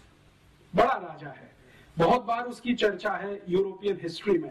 क्लॉडियस बास्टर्ड है। और उसको राजा होने के रास्ते में सबसे बड़ी रुकावट यही है, उसको बास्टर्ड होना। तो वो क्या करता है? उसको राजा होना है। वो जानता है कि मेरे अंदर कुछ काबिलियत है। मैं मारपीट कर सकता हूँ, गुंडागर्दी कर सकता हूँ, किसी को जीत सकता हूँ, किसी को हरा सकता हूँ। तो इस तरह की काबिलियत उसको लगती है अपने में तो राजा होने की मन में कल्पना है। तो अब उसको रास्ता कैसे क्लियर करे? तो क्लॉडियस ने क्या किया है? अपने आप को किसी फैमिली में दत्तक करवाया। दत्तक लेने की परंपरा वहाँ पुरानी है। तो दत्तक करवाया, उस परिवार का नाम उसको मिला, तब उसको सिटीजनशिप मिली रोम की और तब वो राजा बना। And the same case is Nero Nero के बारे में हम सब कहते हैं ना। और एक हमारे यहाँ मुहावरा इस्तेमाल होता है कि रोम जल रहा था और नीरो बांसुरी बजा रहा था। तो वो नीरो वो नीरो भी इसी रास्ते से गया राजा होने तक। माने राजा होने के लिए नागरिक होना है। नागरिक होने के लिए माता पिता होना है। अगर आपके माता पिता नहीं है तो राजा होने की स्थिति नहीं है तो आपको कहीं दत्तक होना पड़ेगा। किसी बड़े परिवार का दत्तक होना पड़ेगा। फिर आप उस रास्ते पर जा सकेंगे। ये उनकी परिवार की व्यवस्था है। अभी भारत में देखें। भारत में आज़ादी के पहले से और पिछले दो पाँच हज़ार साल तक जितनी कल्पना हमारी दूर तक जाती हो रामचंद्र जी के जमाने तक जाती हो, कृष्ण के जमाने तक जाती हो, उसके पहले तक कहीं कल्पना जाती हो तो परिवार में बच्चे का होना माँ के ऊपर निर्भर है। भारत में बिल्कुल उल्टा है। माँ चाहेगी तो बच्चा होगा, नहीं तो नहीं होगा। ये हमारे यहाँ की व्यवस्था है। और भारत में आज भी जिनको हम आदिवासी और वनवासी कहते हैं, आप वहाँ चले जाइए।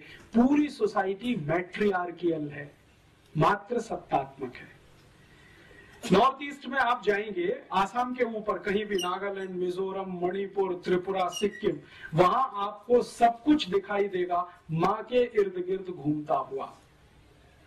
और उनसे जब हम बात करते हैं तो वो कहते हैं हाँ ये तो हज़ारों साल की परंपरा है हमारी।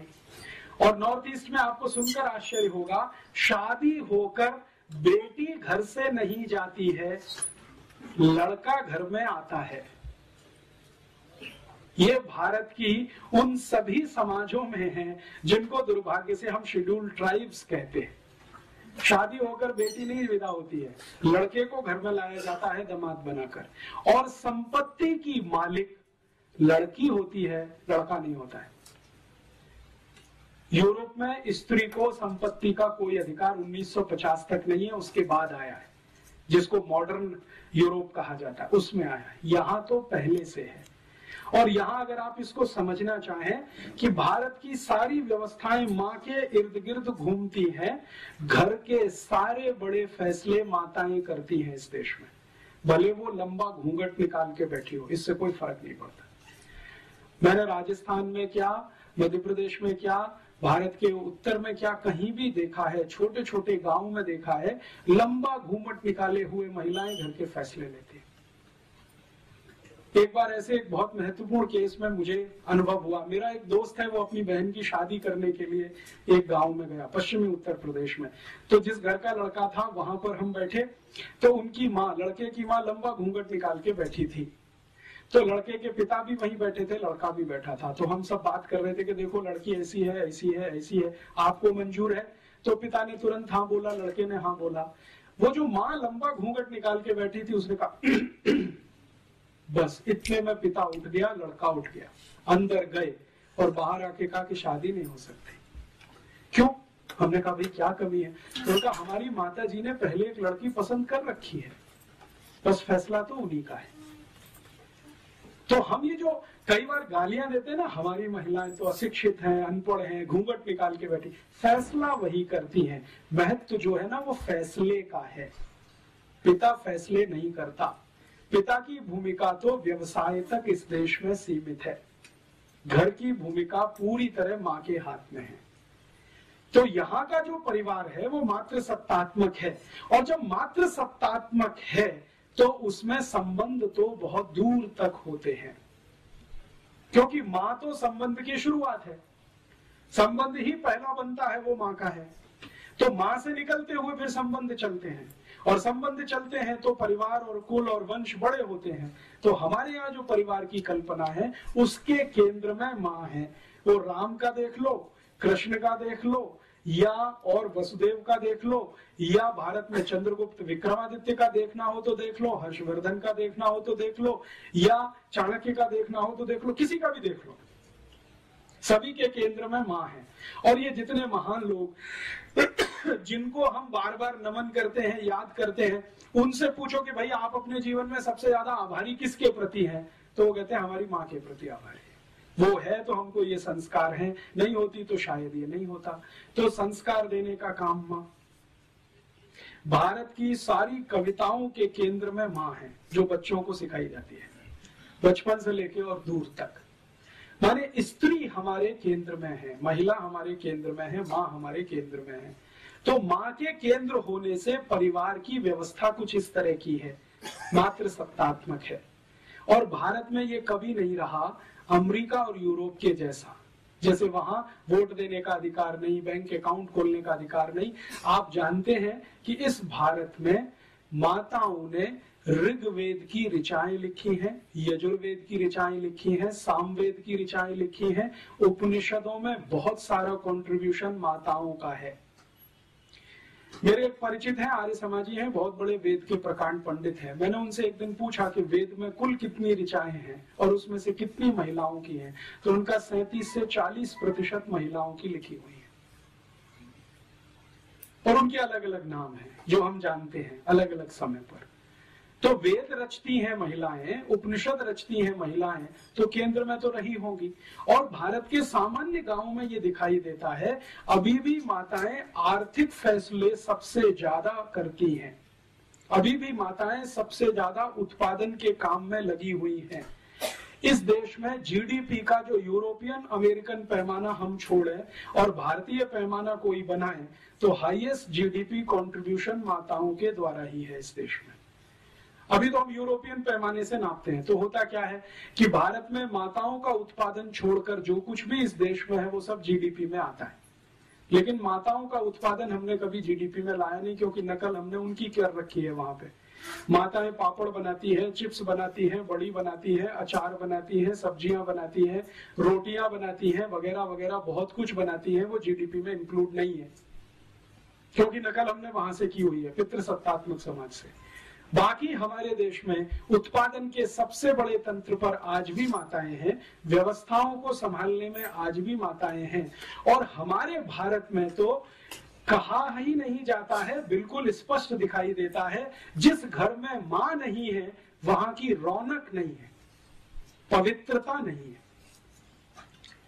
मैं दक्षिण में बहुत सारे मंदिरों में गया हूँ, लेकिन गर्भगृह में मैं प्रवेश नहीं कर सका। कारण क्या।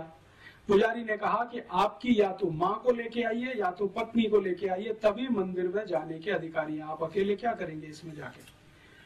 तो मैंने कहा, भाई, इसमें परेशानी क्या है? मैं अकेला हूँ तो उन्होंने कहा, अकेले होने से पवित्रता नहीं आती। पवित्रता किसी स्त्री के साथ होने से ही आती है। वो चाहे माँ के रूप में हो या आपकी पत्नी के रूप में हो। और अगर कुछ नहीं है तो बहन को ले आइए, किसी को हम आपको मंदिर में जाने देंगे। उस दिन मेरे समझ में आया। अब इस बात को हम पूरे हिंदुस्तान में एक नमक मिर्च लगाकर एक दूसरे तरह से भी पेश कर सकते हैं कि देखो, कितना छुआछूत है इस देश में। घुसने ही नहीं देते मंदिर में। लेकिन उसके पीछे कारण कुछ और है। वो पवित्रता का कारण है, जो माँ के साथ जुड़ा हुआ है। और ये भारत में बहुत सारे शास्त्रों में बार बार पढ़ने में आता है, सुनने में आता है कि जिस पुरुष की स्त्री चली गई, उसका तो सब कुछ चला गया। माँ चली गई तो और कुछ बचा ही नहीं। पत्नी गई तो बहुत कुछ चला गया। विदुर होना बहुत अपमानजनक स्थिति है समाज में। हमारे देश में, हमारी मान्यता में, हमारी सभ्यता तो क्यों है? क्योंकि मात्र सत्तात्मक है सब कुछ। बच्चे पैदा होंगे, नहीं होंगे, माँ का है। बच्चे बड़े होंगे तो क्या संस्कार मिलेंगे? माँ का फैसला है। पिता का उसमें कोई बड़ा योगदान नहीं। पिता तो थोड़ा सपोर्टिंग हैंड के रूप में है। जो कुछ गढ़ रही है तो वो तो माँ गढ़ रही है। तो भारत की सभ्यता मात्र सत्तात्मक। इसलिए हमने शायद हमारे देश को भारत माता बोला। हमने कभी क्यों नहीं कहा भारत पिता?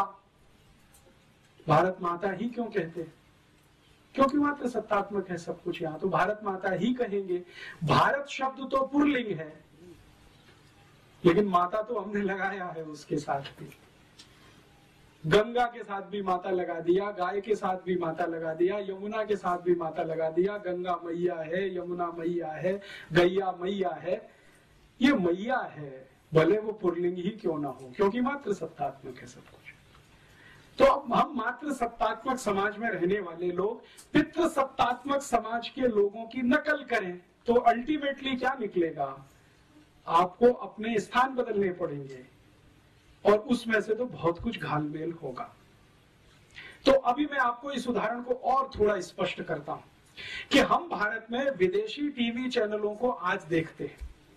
तो जितने भी विदेशी टीवी चैनल हैं, जैसे स्टार प्लस आया है सीएनएन है एटीएन है प्राइम स्टार है प्राइम स्पोर्ट्स है, वगैरह वगैरह। इन सभी टीवी चैनलों पर कुछ सीरियल्स आते हैं। और उन सीरियलों को भारतवासी देखते हैं और दिखाते भी भारतवासी हैं। लेकिन उनके प्लॉट सभी अमेरिका और यूरोप से आते हैं। भारत में स्टार प्लस पे सबसे ज़्यादा सीरियल दिखाने वाली एक लड़की है जिसका नाम है एकता कपूर। उसके सबसे ज़्यादा सीरियल आते हैं। सौभाग्य से एक बार मुझे उससे बात करने का मौका मिला मुंबई में। तो मैंने उससे एक ही सवाल पूछा कि आपके जितने भी सीरियल हैं, सास भी, कभी बहू थी घर घर की कहानी, तेरी मेरी कहानी, इसकी कहानी, उसकी कहानी, ये सब सीरियल के प्लॉट्स कहाँ से आते हैं? कहानी कहाँ से आती है? तो मैंने कहा this is all important plot तो सभी अमेरिका से हैं, यूरोप से आए हैं, कहानी सब वहाँ से आई है। उसमें हमने भारतीय पात्रों को फिट करने की कोशिश की है। तो मैंने कहा, अब मुझे समझ में आ गया कि आपके सभी सीरियल में माताओं को ही सबसे ज़्यादा गालियाँ क्यों दी जाती है? सास भी कभी बहू थी। आप अगर इस सीरियल को ध्यान से देखें तो इस सीरियल की सभी स्त्री पात्र या माताएँ पात्र सबसे ज़्यादा दुर्भावना का शिकार है। ऐसे ही कसौटी, ज़िंदगी की या कहानी घर घर की कोई भी सीरियल देखें। ये सभी सीरियलों को मैं देख नहीं पाता हूँ, लेकिन इनकी स्टोरी ज़रूर पढ़ता हूँ मैं। कभी अखबार में आती है, कभी मैगजीन में। तो उन सब सीरियलों में एक माता दूसरे के खिलाफ षड्यंत्र कर रही है, दूसरी तीसरे के खिलाफ, तीसरी चौथी के खिलाफ, ननद भाभी के खिलाफ, भाभी ननद के खिलाफ माता जो है किसी और के इसी तरह के षड्यंत्र षड्यंत्र षड्यंत्र माताओं के बीच में सबसे ज़्यादा, पुरुषों में कुछ कम, क्योंकि ये सब इंपोर्टेड प्लॉट्स हैं। यूरोप से आए हैं अमेर तो वहाँ तो माता तो कुछ है नहीं तो उसके खिलाफ षड्यंत्र भी हो तो कोई महत्व की बात नहीं। यहाँ तो बहुत कुछ उसी पर निर्भर है। लेकिन हमने चूँकि आयातित किया हुआ है, उसको हिंदुस्तान का थोड़ा मिर्च मसाला लगा के पेश किया हुआ है। तो सभी सीरियल उसी तरह के दिखाई देते हैं इस देश चूँकि हम अगर अपनी सभ्यता को ध्यान में रख के कोई सीरियल बनाए और अपनी मान्यताओं को ध्यान में रख के बनाए तो इसके बिल्कुल विपरीत बनेंगे। जो आज हम देख रहे हैं या दिखाए जा रहे हैं। अच्छा मैंने जब इनको कहा कि एकता कपूर को कि आप कोई भारतीय मान्यताओं के आधार पर भी तो उनका आप प्लॉट बना के दे दीजिए, हमारी दिमाग में तो आता नहीं है। क्योंकि हमने तो जो पढ़ा लिखा है, वो सब कुछ इसी तरह का है, मॉडर्निज्म का, यूरोपियनिज्म का, अमेरिकनिज्म। एकता कपूर यूरोप में पढ़ के आई है, थोड़े दिन अमेरिका में रह के आई है। तो वो कहती है कि ज़्यादा कुछ हम जो देखते रहे, वो यहाँ पे बनाते रहे तो इस तरह का होता है। जब आप अंधानुकरण करते हैं, बिना सोचे समझे नकल करते हैं तो इस तरह का उसमें से कुछ निकलता है। फिर हम अपना सिर पीटते हैं, अरे, हमारी संस्कृति का नाश हो रहा है, सभ्यता का नाश हो रहा है। वो तो होगा ही, क्योंकि बिना सोचे समझे तो आप ये सब कर ही रहे कोई विचार तो होता नहीं, कोई बहस तो होती नहीं, कोई मुहाविसा तो होता नहीं इस देश में। ऐसे ही चलता जाता है। तो एक मात्र सत्तात्मक समाज हमारा, एक पितृ सत्तात्मक समाज उनका। अब कौन अच्छा कौन बुरा, इसमें नहीं जाना चाहिए, वो अलग, हम अलग। अब अलग अलग मान्यता और सभ्यता के लोग अलग अलग मान्यता और सभ्यता के ही कार्य करेंगे, तभी कुछ अच्छा होगा। नहीं तो उसमें से कुछ खराब ही निकलेगा। घालमेल करेंगे, फ्यूजन करेंगे तो खिचड़ी बनेगा। इस तरह का यूरोप और अमेरिकन समाज है। इसमें और भी बहुत सारी बातें हैं। जैसे उदाहरण के लिए, एक बात यह है कि ये जो लावारिस बच्चे हैं, फिर ये कहा जाते हैं अंत में? यूरोप में। तो ये अंत में गुलाम बन के काम में आते हैं। कॉन्वेंट से जो बच्चे निकलते हैं, वो सब गुलाम बनते हैं। और आप जानते हैं कि गुलामी प्रथा, दास प्रथा यूरोप का लंबे समय तक चला हुआ बहुत बड़ा अभियान रहा है, जिसको यूरोप और अमेरिका की किसी भी समाज ने आज तक ये नहीं कहा कि ये पूरा खराब था। वो कहते हैं इसमें थोड़ा सुधार करके अच्छा था। इंक्लूडिंग जॉर्ज बुश यहाँ तक आके।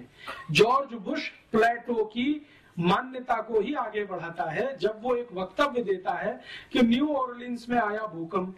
अभी आया ना? पानी का जल जला समुद्री। तो न्यू ऑर्लिंस का एरिया उसने छह सात दिन तक नेग्लेक्ट रखा। लोग मरते रहे। कटते रहे, पिटते रहे, आर्मी नहीं भेजी, सहायता नहीं भेजी। और अंत में कहा, वो गुलाम थे सब, दास लोग थे, ब्लैक्स थे, क्या करना उनके लिए?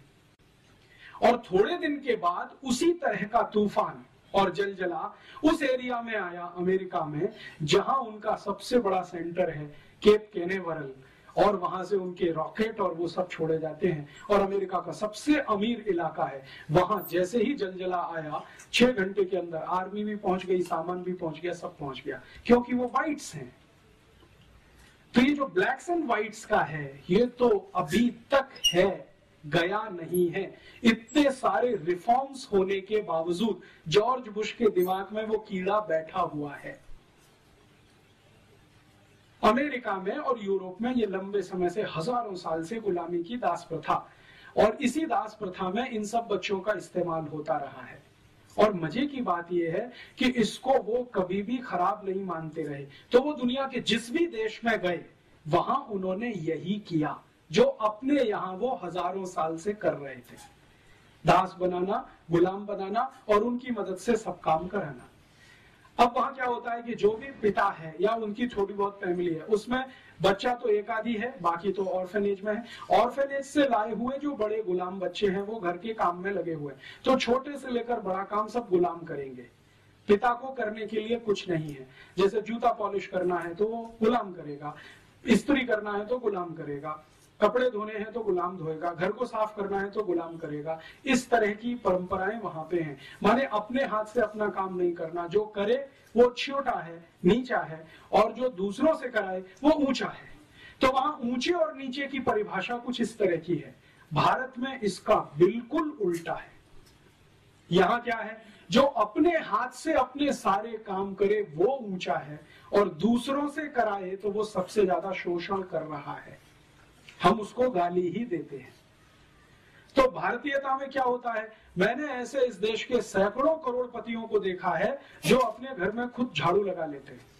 अपने कपड़े खुद साफ़ कर लेते हैं, खुद नहा लेते हैं, खुद दांत साफ़ कर लेते हैं। आप कल्पना नहीं कर सकते, यूरोप में जो अमीर ज़्यादा रहे हैं 1950 तक उनके दांतों पे ब्रश भी गुलाम ही चलाते रहे दांतों पे ब्रश। तो वो जब अमीर जादे यहाँ वॉयसराय बन के आते हैं और यहाँ जब रहना शुरू करते हैं तो यहाँ भी वही परंपरा डालते हैं। जैसे उदाहरण में हमारा राष्ट्रपति भवन, ये एक अंग्रेज़ वॉयसराय का घर है। तो बहुत साल तक तो अंग्रेज़ वॉयसराय रहा जिसको राष्ट्रपति मानते थे। तो आप अगर चले जाएँ राष्ट्रपति भवन में तो ऐसे दासों की, गुलामों की फौज आपको वहाँ मिलेगी, जिनकी संख्या साढ़े चार हज़ार है। राष्ट्रपति भवन में ऐसे कई गुलाम नौकर हैं जो राष्ट्रपति की बूट पॉलिश के लिए हैं। राष्ट्रपति के कपड़े पे स्त्री करने के लिए है। राष्ट्रपति के ब्रश पर पेस्ट निकाल कर देने के लिए है। राष्ट्रपति की मेज सजाने के लिए है। एक राष्ट्रपति है और व्यक्तिगत रूप से 835 कर्मचारी हैं। और दुर्भाग्य इस देश का या सौभाग्य की इस समय जो राष्ट्रपति हैं, वो भारतीयता वाले हैं। वो कहते हैं, इनकी मुझे ज़रूरत नहीं, निकाल बाहर करो। तो सरकार कहती है, जी, ये प्रोटोकॉल है, हम नहीं निकाल सकते किसी को। आपको मालूम है? राष्ट्रपति ने भारत सरकार के प्रधानमंत्री और गृह मंत्री को कई बार लिख कर दिया कि ये साढ़े आठ सौ गुलामों की मुझे कोई ज़रूरत नहीं है, मैं मेरे जूते पे पॉलिश कर सकता हूँ, मेरे कपड़े में खुद धोता हूँ, स्त्री की मुझे आवश्यकता नहीं होती क्योंकि मैं बिना स्त्री के कपड़े पहनता हूँ, ज़्यादा कपड़े मेरे पास है नहीं, तीन शर्ट है और तीन पेंट है, दो कोट है, दो पेंट है, इससे ज़्यादा मैं रखना नहीं चाहता, एक ब्रीफ केस में मेरा सब सामान आ जाता है, कल राष्ट्रपति भवन छोड़ना पड़े तो एक ही ब्रीफ केस लेके निकलूँगा, एक ही ब्रीफ केस लेके आया हूँ, इसलिए मुझे ये 835 लोगों की फौज नहीं चाहिए, हटाओ। तो प्रधानमंत्री कहते, नहीं हटा सकते, ये तो प्रोटोकॉल के खिलाफ है। आप उनका इस्तेमाल नहीं कर सकते तो बैठने दीजिए ना, आपका क्या बिगाड़ते प्रोटोकॉल तो चलने दीजिए। माने वो वॉयस हराए वाला प्रोटोकॉल, जो गुलामी से आया है, दास प्रथा से, वो यहाँ कंटिन्यू रखना है। हमारे यहाँ तो नहीं है। भारतीयता में तो कोई किसी को गुलाम नहीं बना सकता, क्योंकि हम तो आत्मा की बात करते हैं। हम तो कहते हैं ना, आत्मा सबकी समान है, परमात्मा का अंश है, कोई किसी को कैसे गुलाम बना सकता है? हम तो किसी जानवर को गुलाम नहीं बना सकते, आदमी की तो बहुत दूर की बात है। और अगर बनाते हैं तो वो समाज में विकृति माना जाता है, उसको स्वीकृति कभी किसी ने नहीं दिया है। ये हमारे देश में नहीं। अब हमारे यहाँ क्या होता है? मॉडर्निज्म में हमने अमेरिका और यूरोप से प्रभावित होकर बहुत कुछ करना शुरू किया है। जैसे कुत्ते पाल लिए। अभी बहुत लोग हैं जो घर घर में कुत्ते पालते हैं। भारतीयता में आप कुत्ता घर में बाँध के नहीं रख सकते। वो तो स्वतंत्र छोड़ने के लिए ही है। लेकिन हमने घर में पाल लिए और उनको गले में पट्टा डाल के घुमाने के लिए लेके जाते हैं और फिर वापस लाते हैं। उसमें बड़ी शान समझते हैं। और अगर उसको पलट के ये कह दो कि भाई, ये कुत्ते पालने से अच्छा कोई गाय पाल लो तो दूध तो मिलेगा और गोबर का खाद किसी किसान को मिलेगा? क्या अब्सर्डिटी की बात करते हो? गाय रखेंगे, गंदा करती है। और वो कुत्ता कहीं भी गंदा करता है। किसी का लिहाज नहीं करता, कहीं भी पाँव उठा के मूत्र कर देगा और कहीं भी संडास कर देगा, उसको साफ़ करना हमको अच्छा लगता है, क्योंकि यूरोप से आया हुआ है। और हम गाय पालें और उसका दूध पिए तो उसमें पचास तर्क सुनाना शुरू कर देते हैं। जी, जयपुर शहर में गाय कैसे पाल सकते हैं? कानून नहीं है। कुत्ता पालने का कानून बन सकता है तो गाय का भी बन सकता है। लेकिन हमने कभी प्रयास नहीं किया। तो कुछ घालमेल इस तरह का होता है। खिचड़ी कुछ इस तरह की होती है। तो हम जो हमारी मान्यता में ऐसा नहीं है तो हमारे कार्य में वैसा नहीं है। होता है तो हम उसको विकृति मान के छोड़ते हैं। वो समाज के लिए आदर्श और उदाहरण नहीं बनता है। तो अब हमारी मान्यता जिस तरह की है, व्यवस्था उसी तरह की बनेगी। उनकी मान्यता जिस तरह की है, व्यवस्था उस तरह की बनेगी।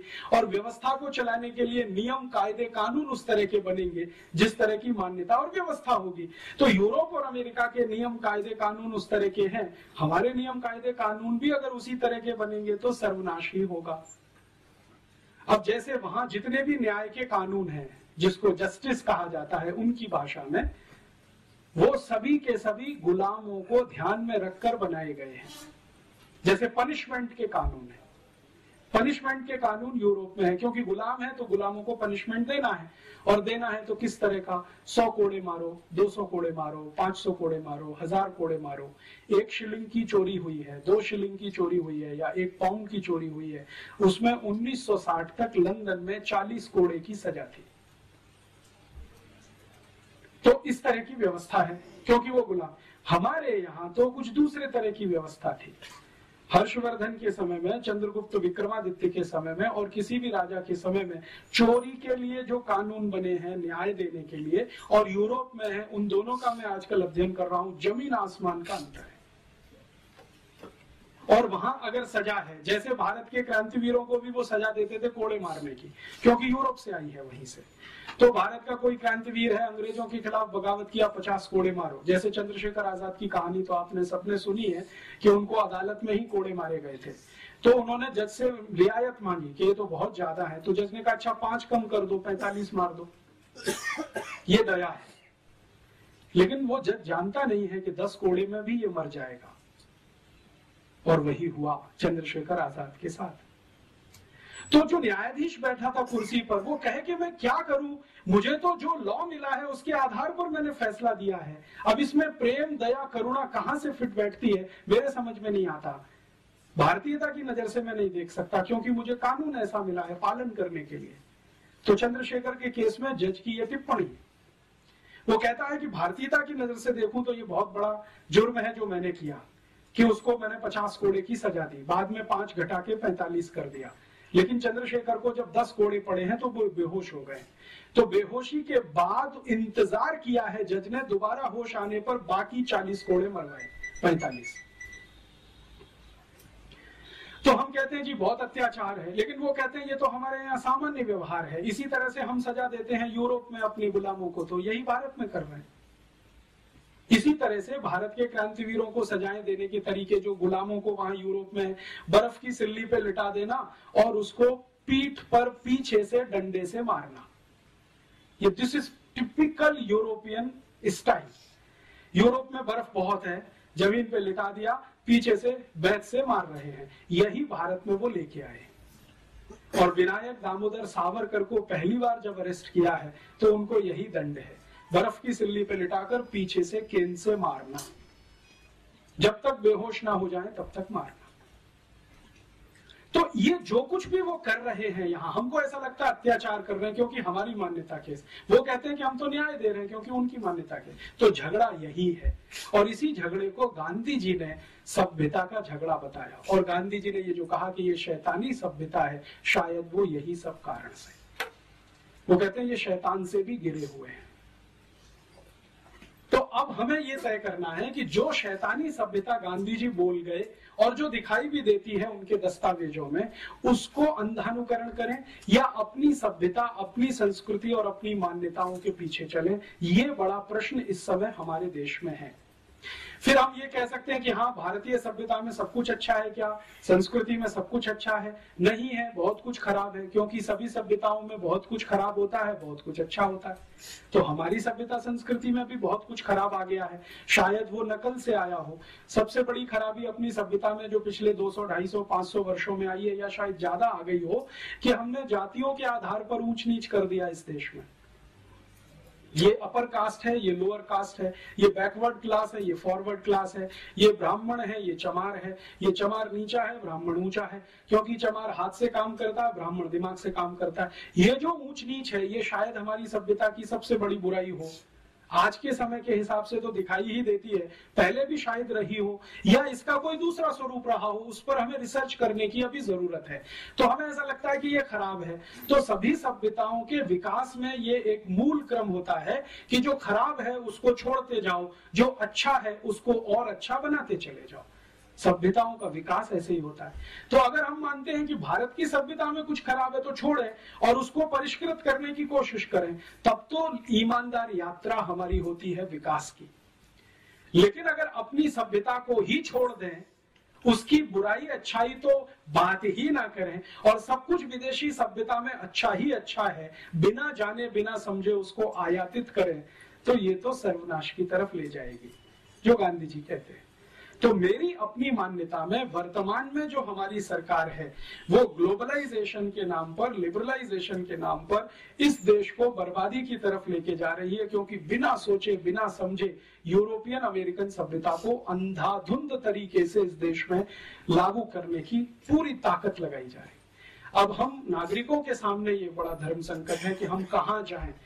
अगर हमको ये तय करना है कि हम हमारी सभ्यता संस्कृति के साथ जाएँ तो पूरी हिम्मत और ताकत के साथ इसको सामूहिक रूप से कहना पड़ेगा। और या तो हम समूह के रूप में ये तय कर लें कि हमको अमरीकी होना ही अच्छा है जैसे पंडित नेहरू मानते हैं और आज के प्रधान प्रधानमंत्री भी मानते हैं कि हम यूरोपियन हो जाए, अमेरिकन हो जाए, उसी में हमारी भलाई है।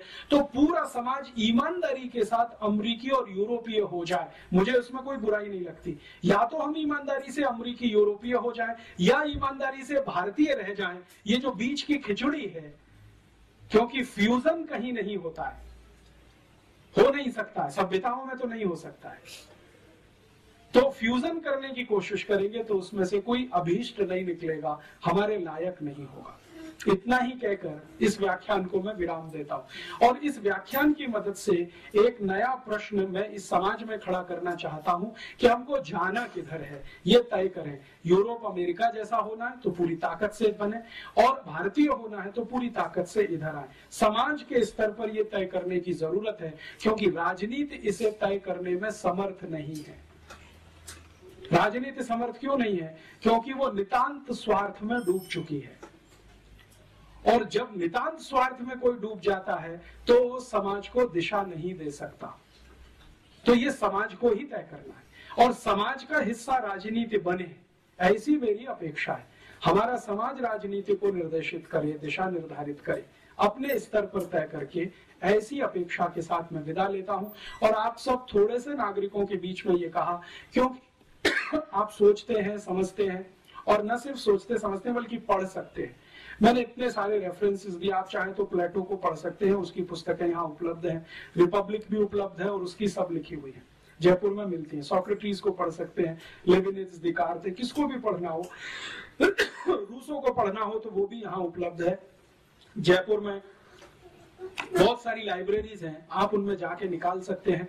और ये जो दूसरे रेफरेंस मटेरियल्स हैं वो मैं आपको दे सकता हूँ। क्योंकि बहुत सारे डॉक्यूमेंट्स हमने कलेक्ट किए हैं। उनके आधार पर हम छोटी छोटी कुछ सीडी बना रहे हैं, कुछ कैसेट्स बना रहे हैं, कुछ पुस्तकें बना रहे हैं। कभी भी आपको मिल सकती है, लेकिन इस बहस को फिर से शुरू करना है, जो गांधी जी 1909 में कह गए कि यूरोपियन सभ्यता शैतानी है। अगर फंसे तो सर्वनाश है। निकले तो जीत है, ये गांधी जी मानते थे। मैं अभी उसको मानने लगा हूँ पिछले कुछ वर्षों से, क्योंकि मैंने वो देखना शुरू किया है जो गांधी जी आज से सौ साल पहले देख कर चले गए। इतनी विनम्रता के साथ आपका आभार, धन्यवाद। और इस विषय पर हम आगे चाहें तो इससे भी ज़्यादा और गहरी बात हो सकती है। इससे भी ज़्यादा और गहरा कोई आपके बीच में मैं बात करने के लिए फिर से आ सकता हूँ। लेकिन एक बार मन बने मानसिकता तैयार हो, इस तरह का सुनने की और सुनने की ही नहीं, बुनने की, चिंतन करने की। तो शायद आने वाले समय में मुझे भी मज़ा आएगा, आपको और ज़्यादा मज़ा आएगा। आभार। ऐसा बातें सबको विजय थे सब कुछ ऐसा है। हमारे अंदर पिछले हज़ार साल से आपके अनुसार वो क्या कमी आ गई है, जिसमें कि हम हज़ार साल से कभी मुसलमानों के, कभी मुगलों के, कभी यूरोपियंस के और आज अमेरिकन के, हम गुलाम ही बनना चाहते हैं। आज हमारा फाइनेंस मिनिस्टर कहता है, हमको चाइना का अनुकरण करना चाहिए। तो हमको हर हर का पिछलू ही बना रहना पड़ेगा। हमारे को चाइना का, अब यूरोप को छोड़कर चाइना का अनुकरण करने लगे। चाइना तो हमारा इस तरह, हमारी इतनी प्रगति कर रहा है, कोई गुलामी के आधार पर नहीं कर रहा है। हमने ये बात क्यों है और क्यों नहीं जाती? ये भारत की जो बहुत बड़ी दुर्गुण है, जिसके बारे में आपने कहा कि हम हज़ार साल से बार बार दूसरों की गुलामी में क्यों फंसते हैं? कभी मुसलमानों की गुलामी में, जिनको हम मुगल कहते हैं, वहाँ फंस गए तीन चार सौ साल। अंग्रेज़ों के साथ, फिर फ्रांसीसियों के साथ, डच लोगों के साथ, पोर्चुगीज लोगों के साथ तो सबसे ज़्यादा साढ़े चार सौ साल भारत का बहुत बड़ा इलाका गुलाम रहा। कारण क्या है? मेरी अपनी समझ और मान्यता के हिसाब से मैं कहता हूँ, आपकी समझ दूसरी हो सकती है। पिछले हज़ार बारह सौ वर्षो में हमारे देश की सभ्यता में जो सबसे बड़ी एक बुराई घुसी, पंद्रह सौ साल कहें, वो यही कि हमने समाज को जो बांटा है अलग अलग जातियों के आधार पर वर्गों में, जातियों के वर्ग बना दिए। ये अगड़ा वर्ग, ये पिछड़ा वर्ग, कुछ जातियाँ आगे, कुछ जातियाँ पीछे, और उसके आधार पर ऊँचा नीचा कर दिया। कि जैसे कोई ब्राह्मण है, वो पंडिताई का काम करता है तो ऊँचा हो गया, चमार है, वो हाथ से कोई जूता बनाता है तो नीचा हो गया। हमारे यहाँ ये व्यवस्था कभी रही होगी तो कर्म के आधार पर थी, जन्म के आधार पर कभी नहीं थी। हम जन्म के आधार पर अपने वर्ग कभी नहीं बनाते, कर्म के आधार पर वर्ग बनाए हैं हमने कभी। तो जब कर्म के आधार पर ये वर्ग रहे तो भारत सोने की चिड़िया के नाम से सारी दुनिया में जाना जाता था। चंद्रगुप्त भी हुए, हर्षवर्धन भी हुए, अशोक भी हुए, तमाम। जब हमने जन्म के आधार पर इसको मानना शुरू किया होगा, वहाँ से गिरावट आई। और समाज में गिरावट जब आती है तो राज्य भी उसका एक अंग है समाज का तो उसमें भी गिरावट आई। और शक्ति हमारी छिन्न भिन्न हुई। वो शक्ति कैसे छिन्न भिन्न हुई, वो एक उदाहरण से समझ में आता है। अंग्रेज़ों का एक राजा या अंग्रेज़ों का एक अधिकारी, रॉबर्ट क्लाइव, जब यहाँ आता है और बंगाल में लड़ाई लड़ता है प्लासी के स्थान पर और सिराजुद्दौला को पराजित करता है षड्यंत्र के हिसाब से, युद्ध के मैदान में नहीं तो वो एक जुलूस निकालता है और उस जुलूस में वो एक बहुत पते की बात कहता है। वो ये कहता है कि मैं जब जुलूस निकाला भारत में कलकत्ता की सड़कों पर तो मात्र 300 सैनिक थे मेरे साथ, मैं और 300 सैनिक। भारत के हज़ारों लोग सड़क के दोनों किनारे खड़े होकर तालियाँ तो बजाते थे, लेकिन मेरे जुलूस पर कोई एक ईट और पत्थर भी फेंक दिया होता तो भारत का इतिहास कुछ और हो गया होता। ये उसने अपनी डायरी में लिखा। बाद में उसने उसका विश्लेषण किया है कि मैंने बहुत दिन सोचा, भारत में ऐसा क्यों है? तो बाद में पता चला कि जो सड़क के किनारे खड़े हुए लोग थे, वो सब पिछड़ी जातियों के थे। जिनको ये लगता था कि ये अंग्रेज़ हैं, वो भले हैं अगली जातियों पर हमला करने के लिए आए हैं, शायद हमारे उद्धारक बनेंगे, इसलिए हम तो तालियाँ ही बजाएँ, क्योंकि हमारा शोषण, ये अगली जाति अगली जाति वाले कर रहे हैं फॉरवर्ड लोग, हमारा शोषण कर रहे हैं। तो उन्होंने अंग्रेज़ों का स्वागत किया, और ना सिर्फ़ किया, बल्कि आज भी करते हैं। आज भी करते हैं। तो ये जो हमारे यहाँ हुआ है जाति आधारित जन्म से उसने हमारे समाज की शक्ति को छिन्न भिन्न किया कमज़ोर किया और समाज बट गया। अब हज़ारों जातियाँ हैं तो हज़ारों में बटा हुआ समाज है। शक्ति पूरी खराब हो गई। साढ़े चार हज़ार से ज़्यादा जातियाँ हैं। ग्रुप्स अलग अलग उसके हिसाब से बने। तो उसी में हम टूट गए और डूब गए। इसी कारण मुझे ऐसा लगता है और भी कोई कारण हो सकता है। मुझे ऐसा लगता है कि हम बार बार गुलाम हुए और आज भी उसी गुलामी के लिए अभिशप्त बने हुए ये मेरा अपना मानना है। इसके अलग भी कोई हो सकता है। ये जो आप कह रहे हैं, ये अगली पिछड़ी जाति का जो भेद हमारे देश के अंदर किसी तरह से दुर्भाग्यपूर्ण रूप से आ गया। परंतु जो भी गुलाम रहे हैं, चाहे मुगलों के, मुसलमानों के, फिर बाद में अंग्रेज़ों के, वो सबके सब अगड़ी जाति के रहे हैं, पिछड़ी जाति के नहीं रहे हैं। इसलिए कि पिछड़ी जाति अगली जाति मिलकर लड़ नहीं पाए दुश्मनों से। आप पिछड़े हैं आपको अलग किया हुआ समाज ने अगड़े हैं गुलाम हैं तो समाज के पिछड़े लोग अगड़ों के साथ नहीं आए लड़ाई लड़ने के लिए। मैं